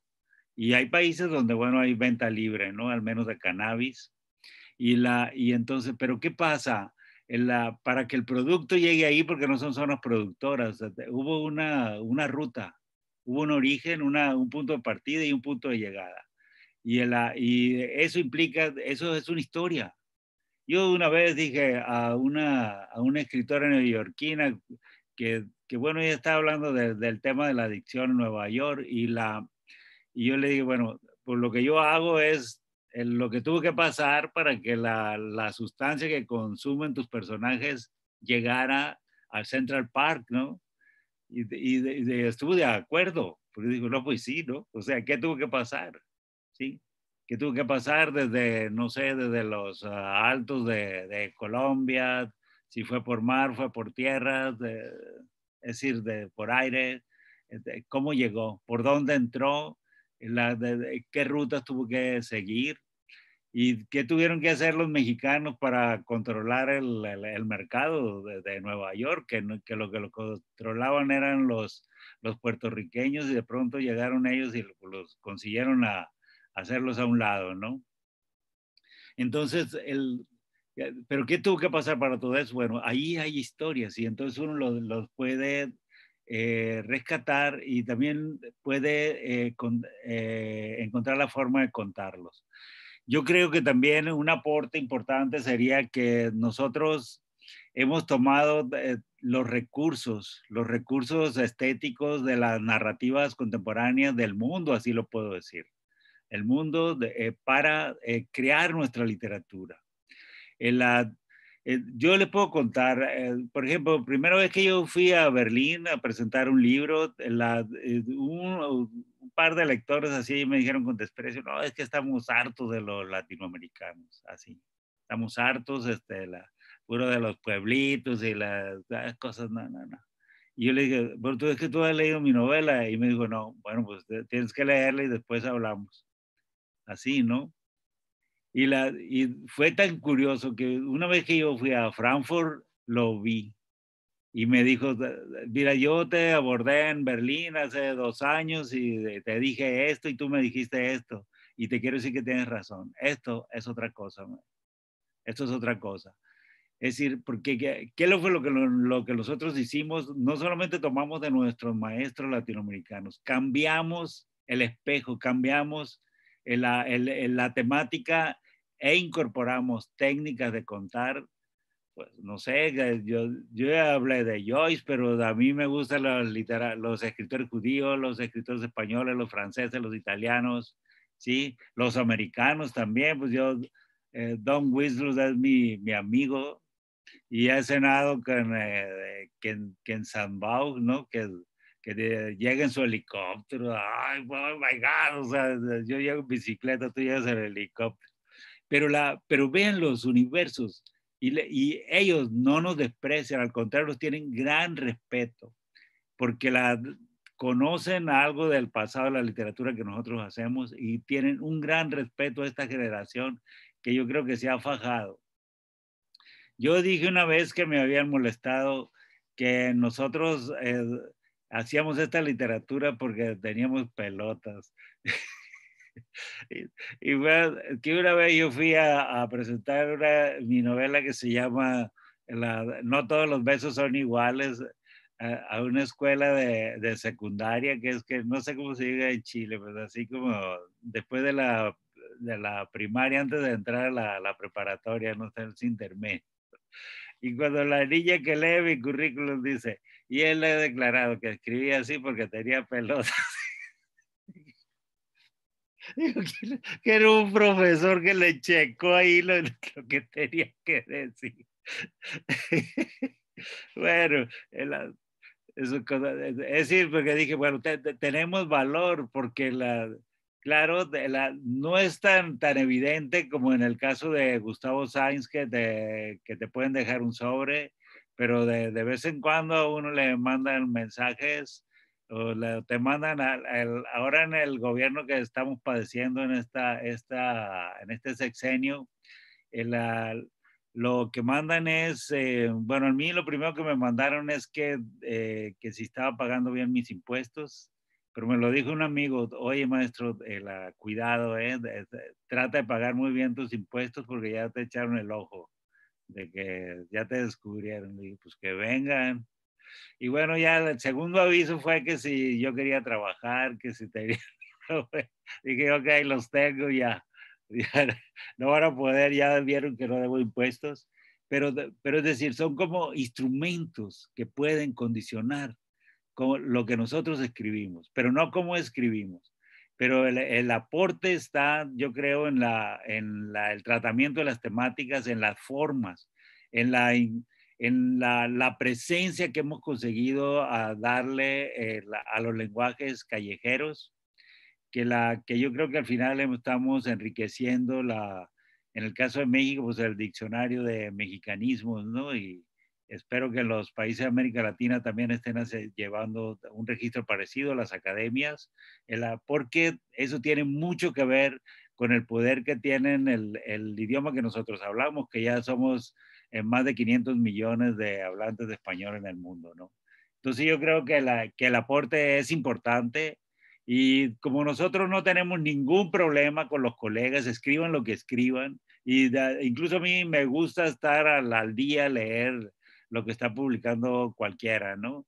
El, yo sé que no nos leen a nosotros, o que pueden detectar al, al Alex o, o, al Juanjo, ¿no? Por, ay, siempre dicen que somos muy pretenciosos, pues claro que somos, pues ¿qué esperaban? Si nosotros no tenemos complejos, ¿sí? nosotros eh, le, prendemos las patas al diablo cuando nos los ponen enfrente. O sea, no, no, no tenemos miedo. Si tuviéramos miedo, no podíamos hacer lo que hacemos. Bueno. Muchas gracias, Elmer. Alejandro, misma pregunta. Entonces, asuntos, eh, el aporte de este eh, corriente y temas, formas. Fíjate que, digo, coincido mucho con lo que dice Elmer, ¿no? O sea, digo, como que decir nosotros algo en lo que hemos aportado, la verdad es que sonaría muy pretencioso, ¿no? Este, pero sí creo que entre todos eh, hemos prendido la luz, ¿no? Eh, Elmer habla de, por ejemplo, hablaba, ¿no? De todos estos escritores grandes, ¿no? Gabo, Vargas Llosa, pues el boom latinoamericano y que hizo todo este realismo mágico. Creo que nosotros de alguna manera estamos contando la Latinoamérica agresiva, la Latinoamérica oscura, ¿no? Yo, uno de mis libros de cabecera, lo sabe Ingrid, está todo rayado, es Ciudad de Dios, ¿no? O sea, Pablo Lins, yo también lo he leído una y otra vez, una y otra vez. Creo que ahí está, ¿no? O sea, esa parte de literatura donde me da luz, donde me dice cómo, cómo actúan las favelas, cómo, cómo se vive en una favela, yo casi casi viví en una favela, solo que plana aquí en México, ¿no? Este, pero, pero bueno, creo que eso, o sea, eh, la literatura del narco simplemente le está dando como una, una pequeña luz a, a, la, a, la, oscuridad. No sé si, eh, sí, sí, a lo mejor tiene que ver una parte de, de, de que, hemos, de, que ha habido un, una parte valiente nuestra, porque bueno, pues también cuando le escribes pues puedes te, tener consecuencias, pero bueno, creo que también esa, esa valentía está metida, por lo menos en mi caso, ¿no? Con, con, una masculinidad tóxica, ahora que lo he leído ya mucho mejor, ¿no? Y digo, claro, o sea, por lo menos yo, en, de este machito, ¿no? Un machito alfa que se sentía muy bravo, bueno, pues iba y, y estaba, ¿no? Reporteando ese tipo de cosas o contar ese tipo de cosas. No sé si ahora si ahora me anime, ¿no? Y ahora ya tengo un poco más de miedo, pero en su momento no lo tenía, ¿no? Eh, y creo que otro, otro aporte es también, mira, hay, hay escritores que de pronto, o intelectuales que dicen que, eh, que los cárteles no existen o que el narco no existe, bla, bla, bla. No, no, o sea, sí existe, ahí está, o sea, son los grupos, ¿no? O sea, a, a, Javier Valdés, que es mi gran amigo, pues lo martó un cártel, o sea, sí existen. No como, no como nos lo han querido pintar, ¿no? Y que creo que desde el periodismo y la literatura se ha tratado de contar, ¿no? Es decir, que hay una pirámide donde, bueno, arriba en la pirámide están los políticos, están los empresarios, ¿no? Están los, los que tienen la plata y como a la mitad de ahí ya están los narcos y para abajo están los sicarios, ¿no? O sea, yo creo que eso, eso también le ha aportado la, la literatura de, del narco, le ha dicho a la gente más o menos por dónde, por dónde, por dónde va. Hemos tratado de, darle el rollo de, que entienda, ¿sabes? O sea, yo creo que hacia eso vamos tendiendo más bien, ¿no? No sé si hemos dado un aporte a la literatura, pero sí a, a, la sociedad para decirle, el problema es así, es decir, esto no es un problema de rancheritos que bajaron de la sierra y trafican droga, no, esto es toda una maquinaria donde eh, actúan todos, donde todo el aparato de gobierno, donde los narcotraficantes, donde empresarios, ¿no? Eh, todos participan porque hay que lavar dinero, entonces es toda una maquinaria, ¿no? Yo creo que eso, eso es lo que de alguna manera muy eh, humildemente creo que, que, se ha aportado a lo largo de, de la literatura, no, lo, no, no por mí, sino como que en todos hemos tratado de ir entendiendo a los personajes, eh, creo que la literatura al principio, por lo mismo que no sabíamos por dónde, a lo mejor al principio romantizó el, el, asunto, pero creo que ya no, creo que ya la literatura que hoy se hace del narco no, no romantiza o no busca romantizar ¿no? a, estos personajes, sino simplemente pues, contar las cosas como son, ¿no? contar los grises de la, de la, vida. A veces uno como reportero solamente ve lo negro y lo blanco, no, no, no, o sea, hay grises en la vida y creo que la literatura sirve para contar todos estos grises. ¿no? Yo creo que esta, esta literatura también de alguna manera está contando como, como Gabo contó el alma de los pueblos y Vargas Llosa. Yo creo que también esta, esta literatura cuenta esa, esa alma de esos pueblos, ¿no? Eh, atravesados por la violencia, atravesados por el neoliberalismo, atravesados por el capital, por los cárteles, ¿no? Entonces todo, todo se, se terminó transformando, pero al final eso también es Latinoamérica, ¿no? Eh, pues ya, si quieren mejor le cedo ahí la voz al buen Juanjo y ahorita seguimos hablando. Gracias. Ya, adelante, José. Muchas gracias, Alejandro. Ok, Danilo, muchas gracias. Bueno, yo también quiero retomar, para no repetir mucho lo que hicieron mis compañeros, yo también he leído a Paulo Lins como una figura que me enseña muchas cosas. Lo conocí gracias a Alejandro Almazán, que lo presentó en la Ciudad de México, Paulo Lins. Y la literatura, la narco-literatura, pues a todos nos choca el palabra subgénero, pero no quiere decir que sea chafa o malo o negativo. Ahorita me corregí decir América del Sur y Sudamérica porque en la secundaria un maestro decía es Suramérica, no digan Sudamérica. Profesor Santos, estos profesores que tuvimos aquí, tipo a la forma de Benito Juárez, que nos forjaban de, con la conciencia latinoamericana. Pero la novela policial de, siempre ha tenido sus géneros. Porque cuando la, Alan Poe la crea en 1860 con los críos de la calle Morch, aunque en Francia alegan que fue Balzac un asunto tenebroso. Pero ha habido la novela de Cuarto Cerrado, que un tiempo se volvió parodia, la que hacía Agatha Christie, Arthur Conan Doyle, El crimen en un lugar cerrado, con unos cuantos ingleses ahí perdidos o franceses. Luego surgió la novela negra, te, tenemos muchas variantes, y ahorita la que estamos, nuestra disciplina actual, es la ramificación más moderna, la narconovela, que tiene sus propios géneros, pero no es igual lo que estamos viendo en España como Fariña, esa miniserie española sobre el tema del, del tráfico de drogas en la región de Galicia, o las demás series que están pasando, porque el fenómeno ya llegó más allá del papel a la serie de televisión. Gustavo Bolívar es amigo mío, el autor de Sin tetas no hay paraíso, y él dijo una vez en un congreso, creo que estabas tú Alejandro, de que para él, toda persona que está fumando un cigarro en su casa oyendo a Pink Floyd después de trabajar y batallar un jefe burocrático, es cómplice del narco, porque está, lleva, que está consumiendo y está haciendo parte de la cadena de producción. Eso lo podíamos rebatir con el caso de Elliot Ness, quien bebía, pero decía que la ley anti-alcohol norteamericana era legislar contra la naturaleza humana, porque el ser humano siempre se ha buscado un alcohol desde Noé a la fecha, y también el caso de la droga. La literatura pues hace visible el, problema, como hemos insistido todos, y para tocar un tema peligroso que mis compañeros no han mencionado, no por evadir, la pregunta tiene segunda parte que es si existe un canon de la narcoliteratura. De la narcoliteratura. El canon, pues es el cartabón, es el, el, para medir que se usaba mucho en la Edad Media, pasó como la religión, el canon que tenemos, pero más que un canon, pues hablar de obras emblemáticas. Puede ser la obra de Fernando Vallejo Colegios y Kairos, una novela que marcó el fenómeno. También las novelas de Elmer, no me da pena decirlo de, de, como, como amigo mío que tengo que presente. Y siempre el tema estaba ahí oculto yo leo Agua Quemada de Carlos Fuentes en los años 80 y un cuento que ocurre en la Ciudad de México empieza con Mazatlán y habla del narcotráfico de manera tangencial. Y hay otras novelas que están apareciendo y brotando. Una cosa que nos critican algunos críticos es que no tengamos la gran novela del narcotráfico, porque el lector está esperando la novela así del narco. Pero es que ha cambiado los géneros. Ahora se ha vuelto literatura más compacta, la gente lee más poesía, y la novela no es la misma que era en los tiempos de, ya mencioné a Alegría, ya mencioné a Rómulo Gallegos o García Márquez. Y me decía a mí Christopher Domínguez Michael, un escritor mexicano muy agresivo, que duraron años buscando la gran novela del 68, del movimiento que hace poco se, se celebró 50 años. Nos faltó la gran novela del 68, de la guerrilla, de la izquierda mexicana. No sigamos esperando la gran novela, como decía Carlos Fuentes, América Latina tiene un capítulo en cada novela de cada, escritor que ha asumido el tema. Y el día que van a ver que alguien haga una novela de más de 500 páginas, 600 páginas, y se, haga, familiar, y sea el tema del narco, va a ser la gran novela del narco aunque nadie la lea. Porque nos dejamos llevar muchas veces por la impresión y el gusto de lo magnificente, ¿no?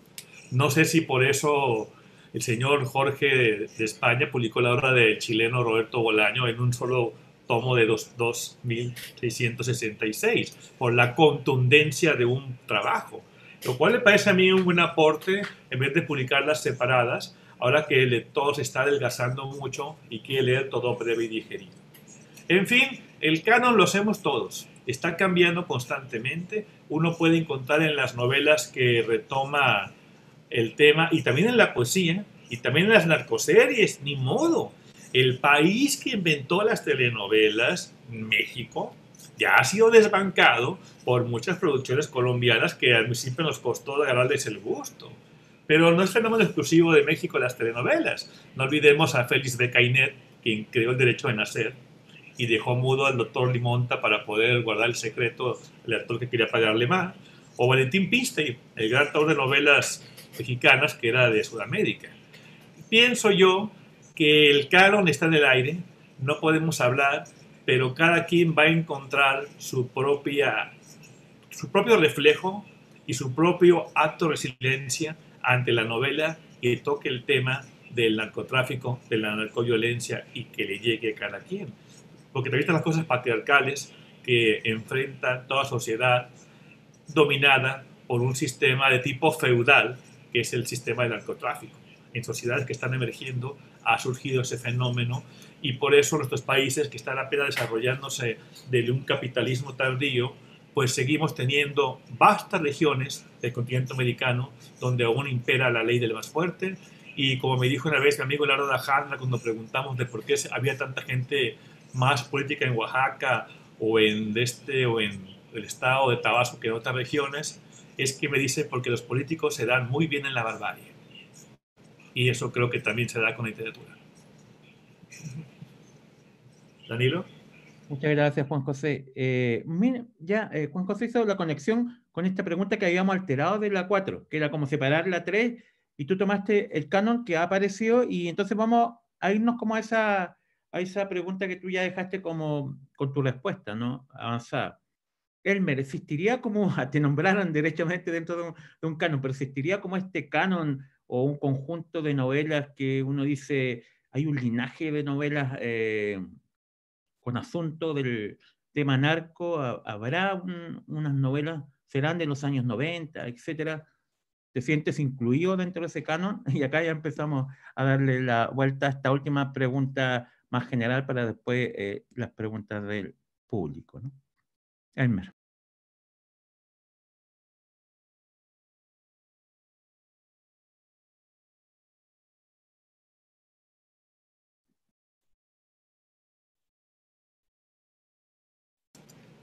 Él no capta el micrófono.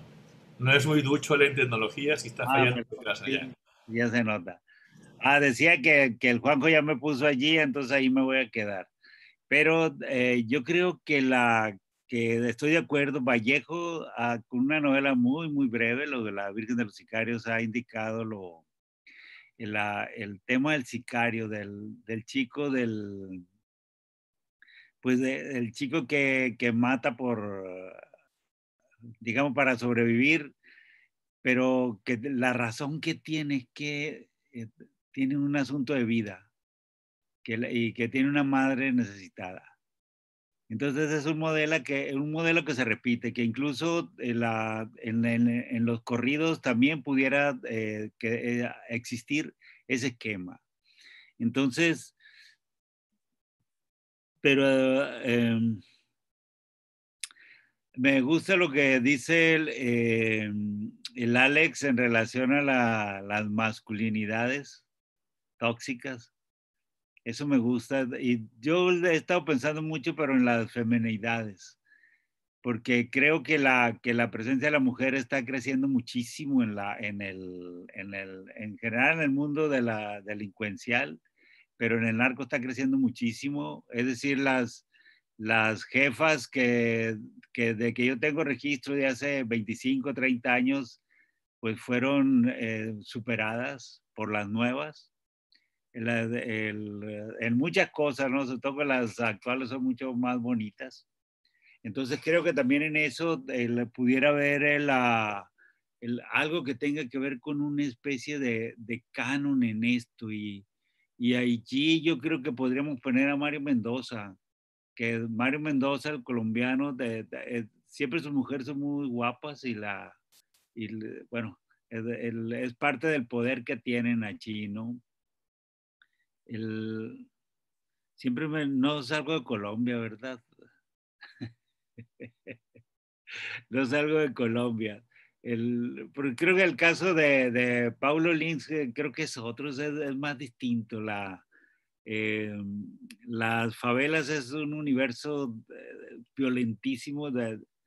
yo he estado allí, no pude entrar. hay una barda que es como donde empieza, donde que divide el, territorio libre y el, territorio ya exclusivo de ellos. Y hay un restaurante, pero el restaurante está en el territorio libre. Entonces yo fui a cenar allí. Y fui con la idea, dije, si aquí conozco a alguien, le voy a invitar unas cervezas y que me, que me lleve. Pero eh, no, nadie, nadie llegó. Nadie se, así como me dio el perfil, ¿no? Como para eh, pedirle ese favor.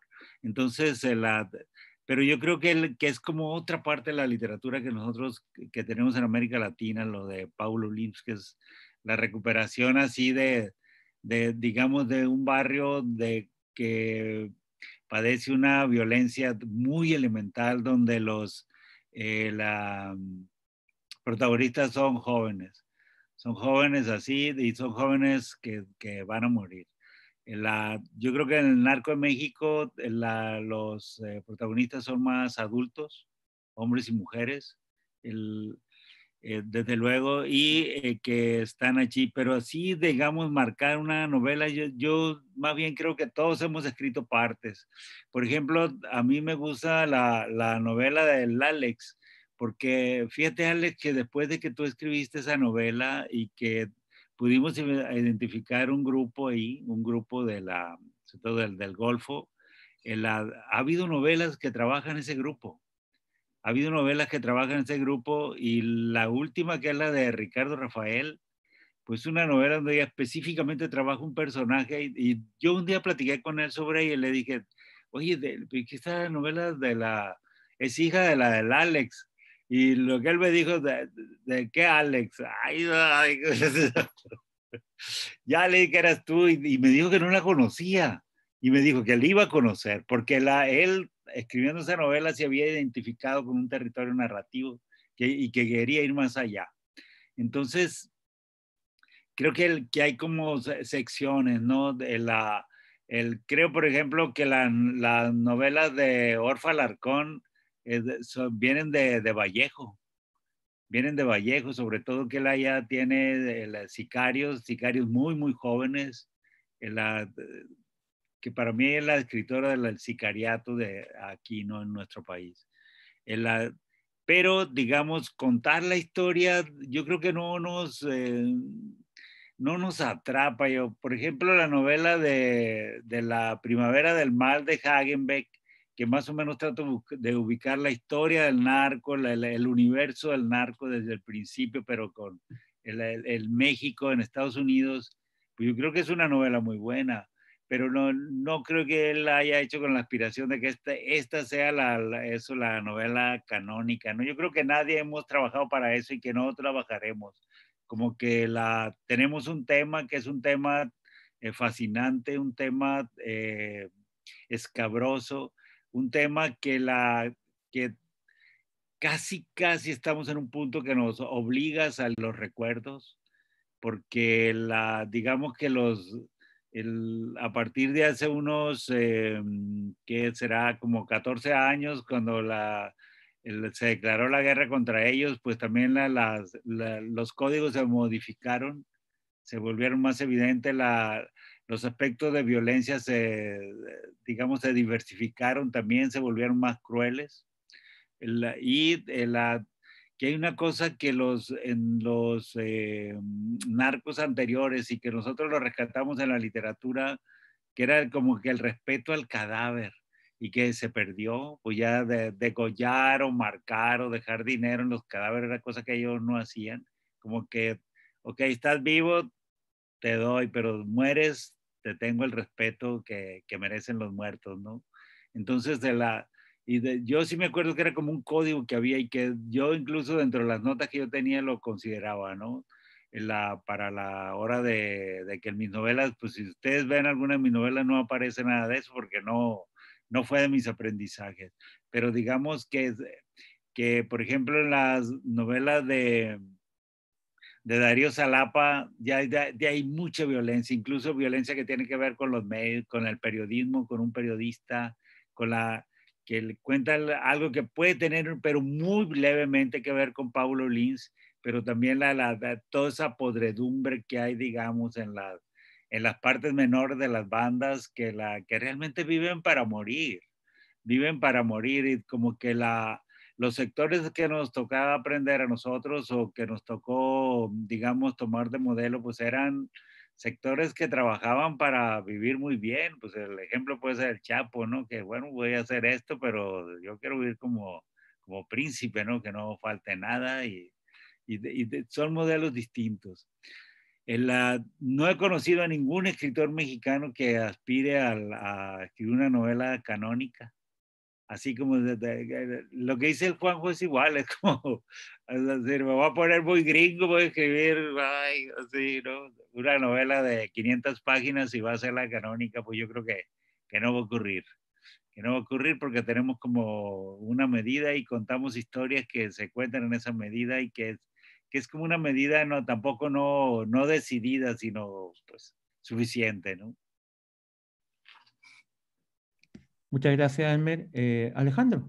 Sí, eh, coincido mucho, la verdad, en lo que dice Elmer, en el sentido de que, eh, digo, sí debe, seguramente debe haber un canon. Yo creo que cada quien va armando su canon. Yo, por ejemplo, pues sí, agarro a Vallejo, agarro a Pablo Lins, agarro a Elmer, de pronto agarro a Juanjo, ¿no? Obvio, con la de las mujeres, sí, Perra Brava es como la que agarro, ¿no? De Orfa. O sea, yo creo que cada uno al final tiene, ¿no? A sus autores, ¿no? Favoritos, pero sí no creo que haya una una novela del narco. A mí una vez me preguntaron, oye, este, ¿y cuál crees que sea la novela del narco? Pues a lo mejor la que se le acerca es el poder del perro, pero ni siquiera se le acerca el poder del perro, porque es tan complejo el narco. Eh, eh, tendrías que hablar de feminicidios, tendrías que hablar de, de los dealers, tendrías que hablar de los cárteles, etc. O sea, de toda la maquinaria para a lo mejor poder hacer una verdadera novela del narco. Entonces, creo que lo que ha pasado es que la novela del narco está distribuida en, los textos de todos, ¿no? Creo que cada uno aporta, aporta su, grano, ¿no?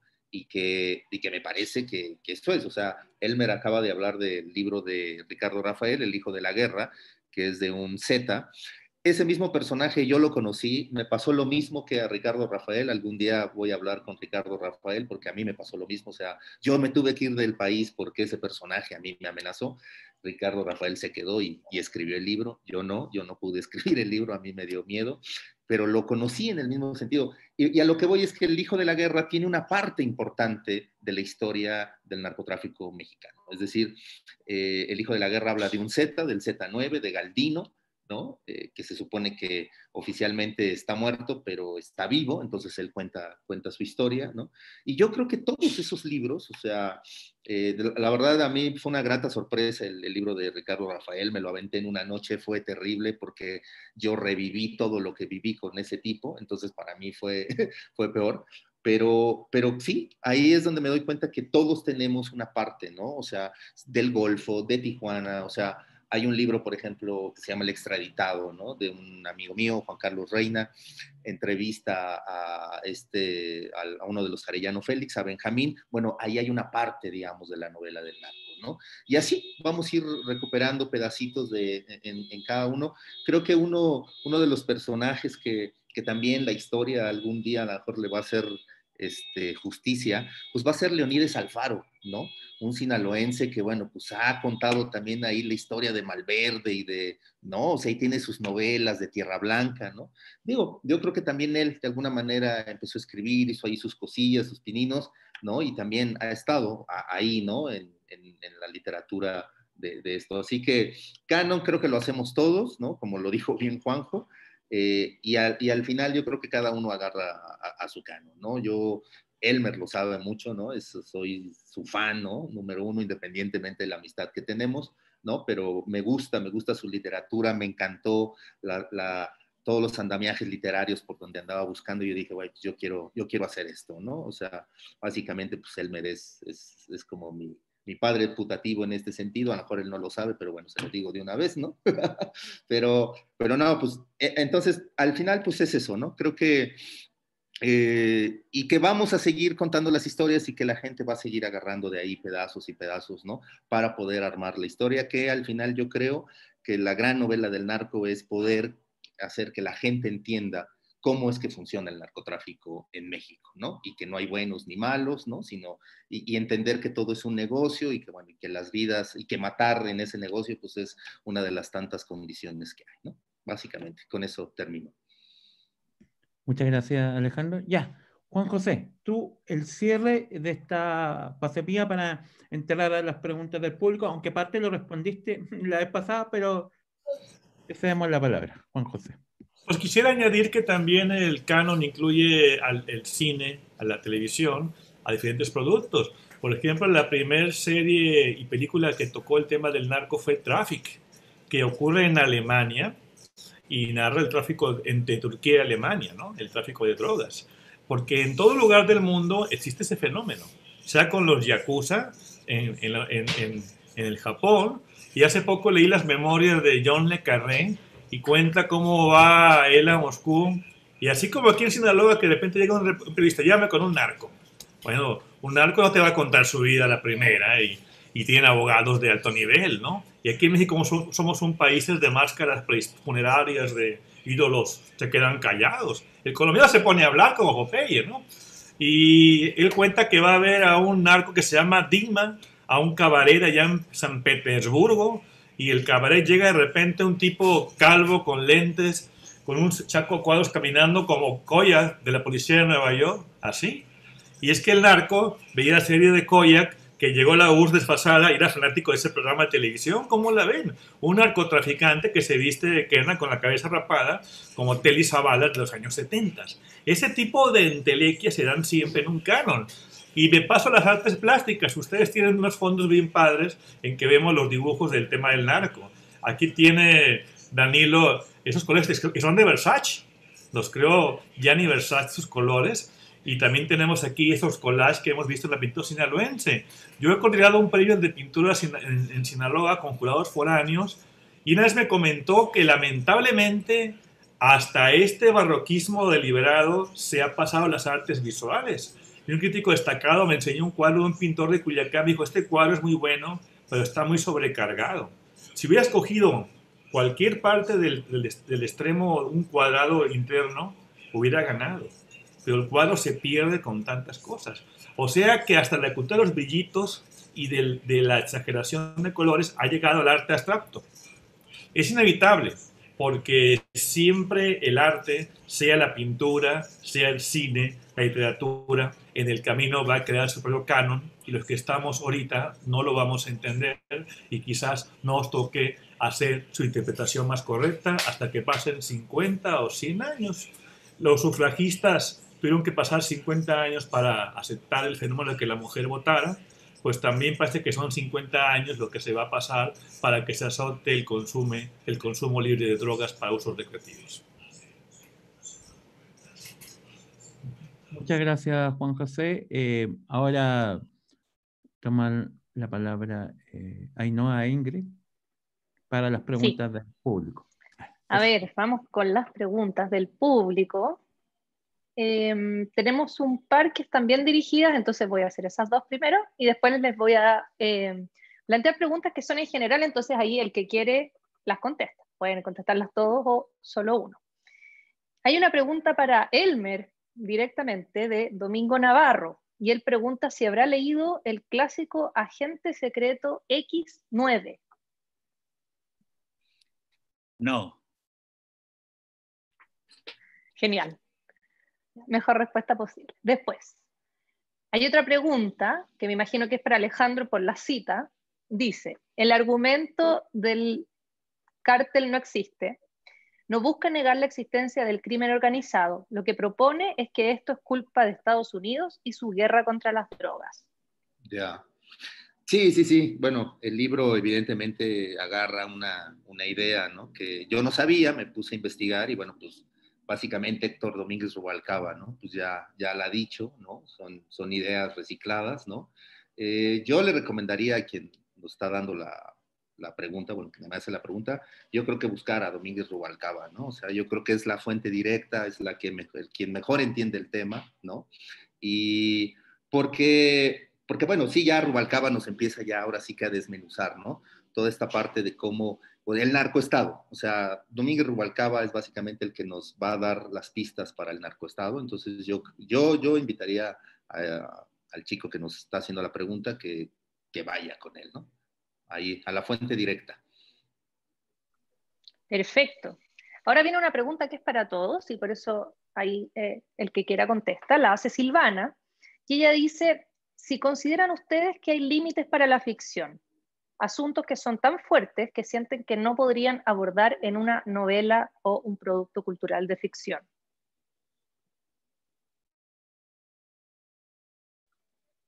El que se anime.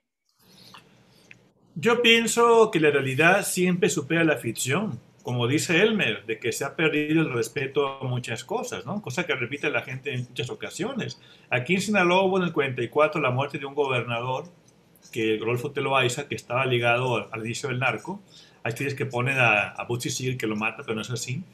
Y en aquel momento los que lo asesinan, un grupo de sinaloenses del sur, van y sepultan el cuerpo de uno de sus heridos en la tumba de un familiar de ellos.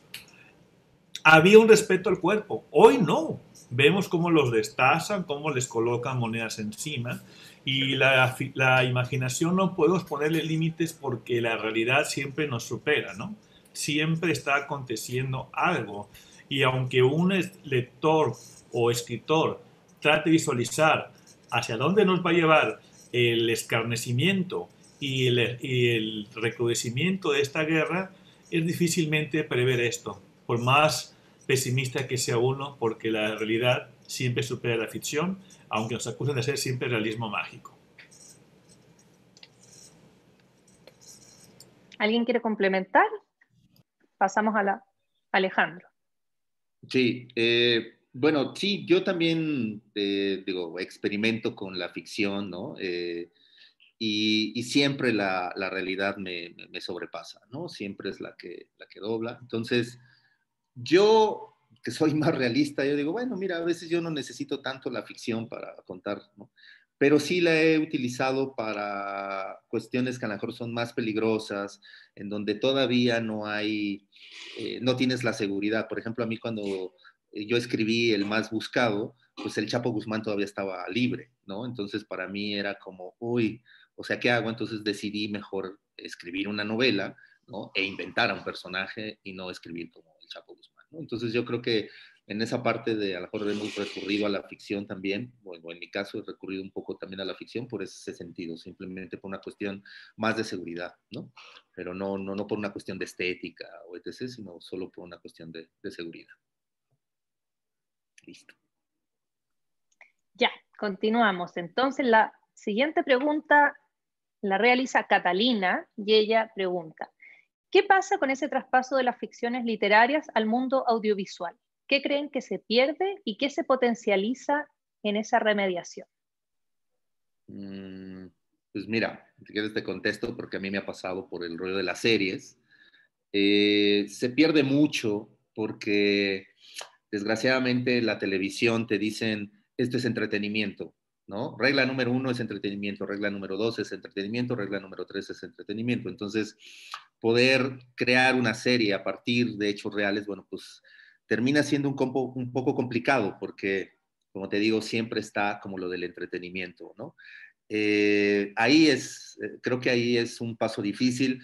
Yo tuve la, fortuna de, tener a dos jefes extraordinarios en, la realización del Chapo, entonces creo que sí pudimos al final como llevar como esa parte, ¿no? En, en la serie, pero creo que si hubiera tenido a otros jefes más eh, yendo pues, más hacia lo, amarillista, jamás hubiéramos podido a lo mejor hacer una, una, serie así o pasar o trasladar, digamos, la realidad a, a una serie de, de ficción, ¿no? Como, como, la del Chapo. Y lo mismo nos pasó con, con Tijuana, ¿no? La serie de Tijuana, que tiene que ver con periodistas, pues es igual, ¿no? Pero también es como juntar toda, toda una, un cóctel de, de, ficciones para poder ah, contar una, una, realidad, que en este caso en Tijuana decidimos contar eh, el problema que están pasando los periodistas, ¿no? Cómo nos asesinan a nosotros. ¿no? Por ahí diría eso. Yo quisiera, comentar nada más que a mí me gusta mucho Los Soprano. Me gusta más que Breaking Bad. Pero Breaking Bad representa más cosas que yo he visto aquí en Sinaloa la persona que tiene un problema económico y se capitaliza haciendo ese paso de delincuencia. Eso es muy común en muchas partes del país y así es lo que yo creo que se gana y se pierde. No es el glamour de Tony Soprano con su familia, también es la realidad avasallante del padre de familia con un hijo enfermo, que no es la justificación tampoco para el delito, pero se da el fenómeno social y es inevitable. Perfecto. Tengo otra pregunta. Esta pregunta la hace Bruno. Y él pregunta, eh, ¿cómo manejan ustedes el tema del peligro real eh, cuando están escribiendo ficciones del narcotráfico en el sentido de qué hacen con las amenazas, las posibles represalias? Eh, ¿Cómo se maneja eso en, en estas escrituras?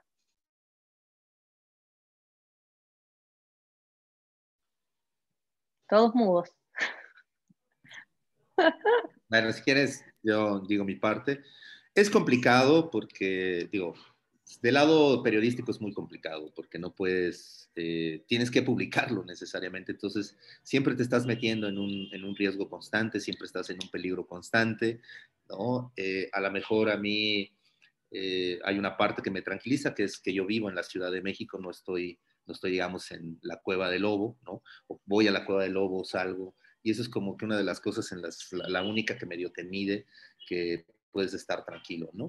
La otra que he ido aprendiendo y que ha sido, se dio solita, que es, yo, cuando iba yo a hacer las, la, escribir la, la novela del más buscado, eh, yo entonces pasaba las navidades en Culiacán, ¿no? Eh, y el año nuevo, y mm, estuve en esos días y de pronto un amigo que conocía a la gente de, de, del Chapo Guzmán, pues me dijo, oye, pues ¿por qué no te sientas con, con, su hijo y le dices que estás escribiendo una novela y a lo mejor hasta te cuenta cosas?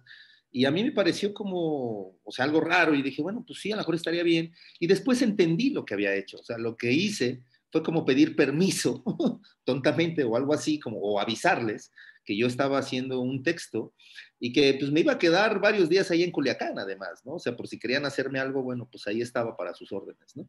Y no, no pasó nada, digo, la verdad es que sí fue una semana muy angustiante la mía, ¿no? De a ver si no, pues si realmente no me pasaba algo, pero no, no pasó.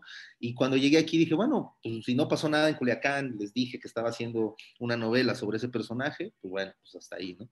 O sea, creo, o sea, es la única vez que, que me ha pasado, bueno, cuando hice la serie de escribir la serie del Chapo, hice casi el mismo proceso, ¿no? Fui a Culiacán para, para investigar algunas cosas y me topé con alguien de la familia le dije, ¿no? Le dije, oye, pues estoy haciendo esto, ¿no? Y de alguna manera, pues también como que avisé, ¿no? Y dije, yo voy a quedar aquí varios días, o sea, estoy en tal hotel, o sea, hasta les dije dónde estaba para que no, no, tuvieran problema en encontrarme, y no, nadie, nadie fue a, molestarme, nada en lo absoluto, ¿no? Y dije, bueno, pues a lo mejor esta parte de que juegues de pronto como limpio, ¿no? Es decir, que no estás apuñalando a nadie, pues a lo mejor eso te puede ayudar. No lo sé, yo estoy hablando solamente desde mi experiencia. Sí, yo quisiera añadir que lamentablemente y afortunadamente no es igual la seguridad para el periodista que está en una palestra eh, haciendo el trabajo continuo, para el escritor que estamos pues cómodamente redactando libros que pueden ser hasta abstractos o manejando otros temas, ¿no? Es distinto al periodista que está al pie del cañón o en la trinchera, lo que sí yo aprendí en un curso de la Fundación de Prisma de García Márquez es que el mejor seguro de vida para un periodista es el código de ética. Y si un periodista hace su trabajo y pone los hechos tales cuales son y no se pone a agredir un narco o a, o a o atacar a su gente, pues puede evitarse un conflicto. Porque como me dijo un reportero viejo, el más interesado en que no se publiquen sus cosas no es un narco porque él sabe que es inevitable, es un político. Ellos son los que no quieren que se publiquen ciertas cosas. El narco da por hecho. Inclusive yo colaboro en el Día del Noroeste y tuvo un atentado hace, hace, hace tiempo. ¿Y saben por qué fue? Porque no publicaron la noticia de la muerte de un tipo. Y los sicarios que habían mandado, que habían ejecutado a alguien, querían que se publicara otra vez la nota, pero con el apodo del tipo. Porque los, no podían cobrar ellos la factura porque no estaba el nombre correcto en el parte, como la ves, ¿no? Es lo que, no olvides esa lección que nos dieron en, en aquel curso de, de, periodismo latinoamericano, de que el código ética es lo que más ayuda, sabiéndolo aplicar. Y aquí está Alejandro como una prueba de que él está aquí y aunque ha tenido amenazas, pues siempre ha publicado las verdades y estos señores se han dado cuenta pues que es la neta. El día que él invente cosas o le siga el juego a un político que quiera embarrar un, delincuente quizás tenga problemas, pero por fortuna Alejandro ha tenido los pantalones y la energía de decir la verdad, aunque a veces nos incomode a todos y solamente quien está en esa redacción como él y yo un poco en mi formación de, de, de, periodista joven, lo aprendes. Hay que buscar la verdad aunque no esté de acuerdo con lo que tú piensas. Veamos cuánta gente se engaña subiendo medios falsos, sabiendo que son falsos, pero que les están de acuerdo con lo que piensan y les gustaría que fuera verdad lo que denuncian, aunque sea irreal e ilógico o al día siguiente se desmienta. Don Elmer. ¿Me puede repetir la pregunta? Tenía que ver con, la, con el, los riesgos que implica escribir acerca de narcotráfico y las amenazas o, o, cualquier situación. Ahí. Sí. Bueno, no, no, no, la, lo particular no he tenido amenazas, pero yo creo que el riesgo es eh, que nuestros libros, por ejemplo, no forman parte de la Red Nacional de Bibliotecas. En la, si tú buscas un libro, de, uno de mis libros en las bibliotecas de mi estado, no, no lo vas a encontrar ninguno. Entonces es como una forma de, de, de tomar, eh, de, advertencias, ¿no? La gente pregunta, oh, fui a buscar un libro suyo a la biblioteca aquí de la ciudad y no, no está. ¿Y, ¿Y, qué le dicen? No, pues no lo, no lo conocen a la, ni al libro ni a usted. Ah, bueno, pues este, eh, escribe una carta al gobernador. Entonces son como formas muy, muy sutiles, muy sutiles de que es, es, muy raro que en México un periodista, digo, un escritor policíaco gane un premio, ¿no? Esos de, que son de de 50 mil dólares o algo así. O, no, creo que ahora son menos, ¿no? El Poniatowska creo que es medio millón de pesos, como cuántos son. Sí, es muy raro, ¿no? No lo hagan a un policíaco. Esas, esas son como las formas de marginarnos. El, a, a, nosotros los que nos salvan son los lectores siempre. Los lectores fieles, los lectores interesados, que, la, que bueno, buscan nuestros libros, aunque, la, aunque la, digamos, la oficialidad no, no se ocupe de, de ellos. Que, también es una forma de, de mandarnos advertencias, pero bueno, no hacemos el, menor caso a eso y tenemos nuestros proyectos literarios y seguiremos trabajando. Perfecto. Una última pregunta, esta también es para todos y es un poco más política. Dice, ¿cuál se, la hace Paula y dice, ¿cuál sería la relación de las narcoficciones con el sistema neoliberal? ¿Habría una estilización al modelo o son narraciones que se revelan? La, poderosa la pregunta. El, don Elmer. Eh, yo no lo tengo muy claro lo del neoliberalismo. Un día leí una, un ensayo de Mario Vargas Llosa porque dije, a ver, quiero entender lo que es esto. Y la verdad es que me explicó muchísimas cosas, muchísimas cosas que, que yo he visto toda mi vida en América Latina y que no tenían ese nombre, ¿no? Y que, y que tenían que ver con el, con el tema de, de las posibilidades de, de, hacer riqueza, ¿no? Y la, el tema es que, eh, como yo soy de un barrio bravo, donde ahí todos trabajábamos desde niños, entonces cuando se abría la posibilidad de que el, cuando ibas a la universidad, pues en vez de trabajar en el campo, de trabajar eh, vendiendo pan por las calles, pues podías trabajar en una tienda y ganabas un poco más y no te ensuciabas tanto, no te mojabas si había lluvia, como que vas apreciando, digamos, como ciertos factores. Y cuando uno puede hacer un trabajo técnico, por ejemplo, yo cuando estaba en la prepa, trabajé ya de profesor en una escuela secundaria nocturna. Entonces, eso ya me dio un estatus y me dio posibilidad de ganar más. Y así fue. Cuando entré a la profesional ya era profesor en una prepa y así. Y, de, y de, igual, eh, ya en Ciudad de México, pues trabajé de mesero, trabajé en, dando clases, es decir, siempre, siempre tra eh, hice trabajos. Entonces, por supuesto que yo quería de tener dinero, yo quería tener un empleo donde tuviera dinero. Que si mis vecinos, que eran unos perezosos y que la, no les importaba ir a la escuela, nunca se esforzaban eh, se metían de militantes o todo eso, pues digo, es lo suyo. Porque yo tenía que tener dinero porque quería comprar un buen pantalón, quería comprar libros, quería ir al cine, ¿sí? Que, que quise ir a una temporada de ópera en Bellas Artes y eso costaba un dineral, pero yo quería ir, quería saber por qué la gente iba, iba ahí, por qué la gente se ponía traje para ir ahí, qué pasaba. Entonces, todo eso me hace como no creer, digamos, que, la, que tener como proyecto entre los seres humanos, eh, eh, trabajar para tener dinero sea algo malo.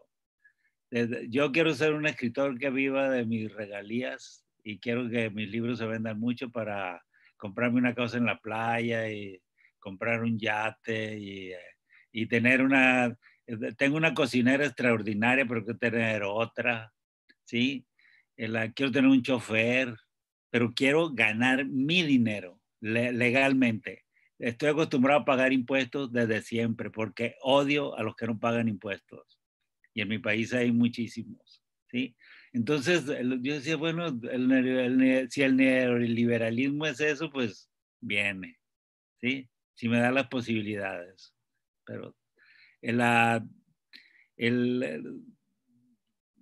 hay quien lo ve así como un acto de egoísmo, pero cuando uno es perro, cuando vienes de allí y nunca has robado para conseguir tus cosas, dices tú, bueno, es que no es tanto. No es tanto en la, Alex y, y, el Juanjo son mis amigos, me conocen de hace mucho, saben que soy, como dicen, acrisoladamente honrado, pero yo quiero tener dinero, quiero tener antes de la pandemia estuvimos a punto de comprar una casa que tenía un jardín enorme. Al final no pudimos eh, terminar el, el, trato, se vino lo de la pandemia y pues ya se canceló todo, se cerró todo y bueno, nos quedamos en nuestra pequeña casa que nos da suficiente, pero aquello hubiera sido una maravilla porque Leonor y mi esposo hubiéramos jugado carreras de 100 metros en el jardín. Bueno, eso es. Y, creo que no me afecta. Me afecta más la política hipócrita que, que hay ahora aquí en nuestro país. Que está en contra del neoliberalismo todos los días, todos los días lo dicen y dicen que yo soy un fifí, un neoliberal, un revisionista, un conservador y un hijo de no de mi mamá. Después de esas fuertes declaraciones, ¿alguien se atreve a seguir con la pregunta sobre el neoliberalismo? Juan. Yo quisiera comentar pues, que el narcotráfico es un fenómeno del capitalismo, ¿no? porque así como el fascismo no es lo contrario del comunismo, sino un capitalismo degenerado, así lo existe. Y en América Latina creció mucho cuando se cerró la vía de Marsella. La droga entraba por Marsella y Turquía. Vean el padrino, cómo va solo otro a negociar con Michael, con, con Corleone, porque decía que entra droga por Nueva York. Luego entró vía Miami y también ahí tiene Elmer el libro canónico a mano y qué bueno.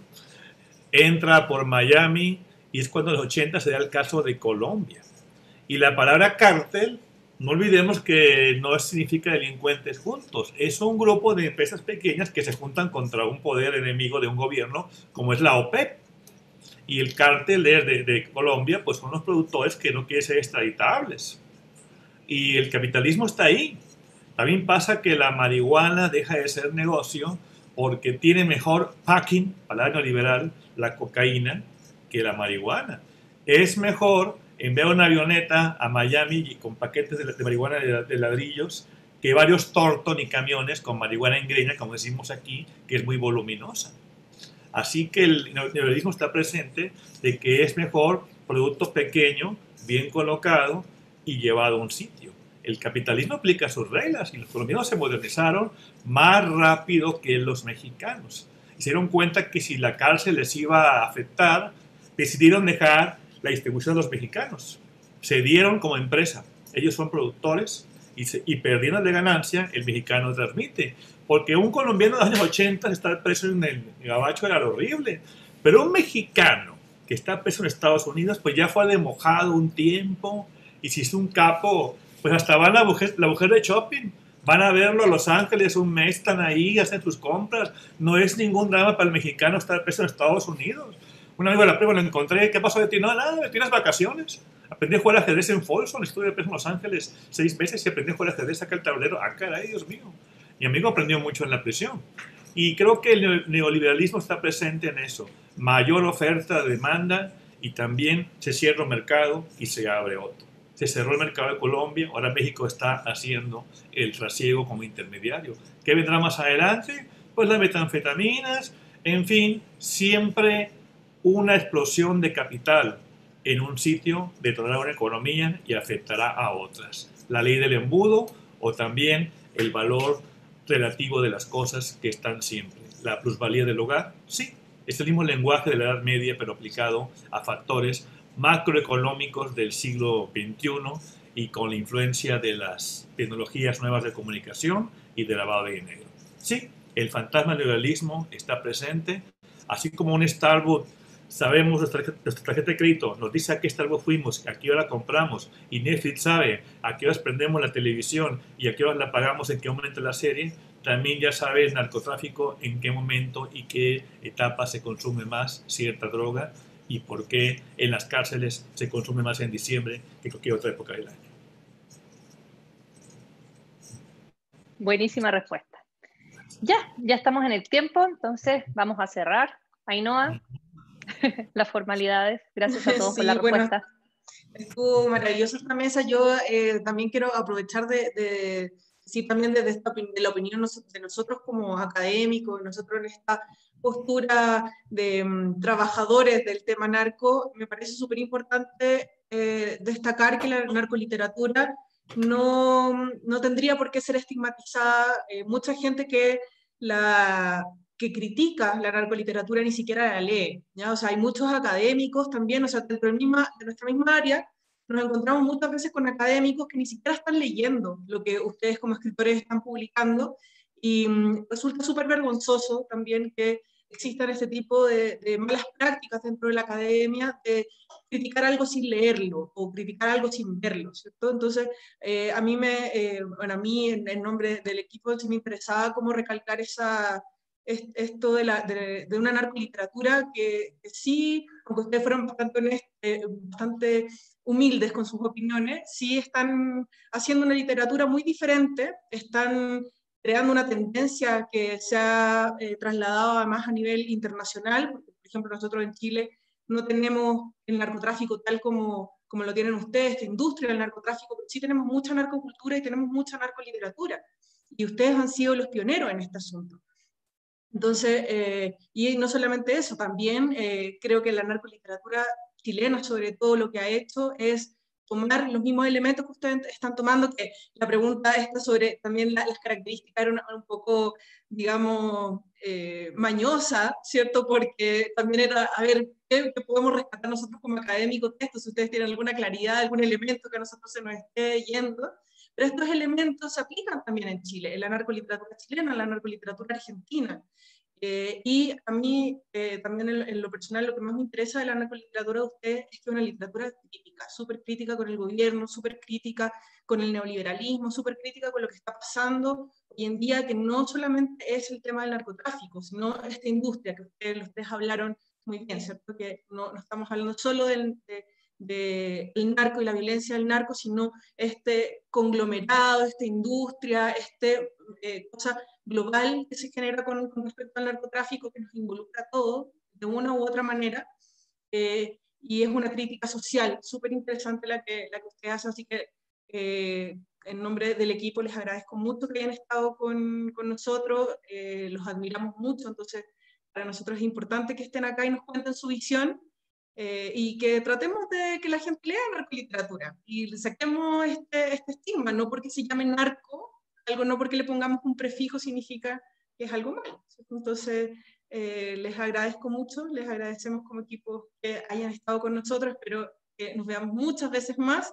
Así que un abrazo grande eh, y los dejo también invitados a todos para la mesa de la de, del próximo día, de mañana miércoles.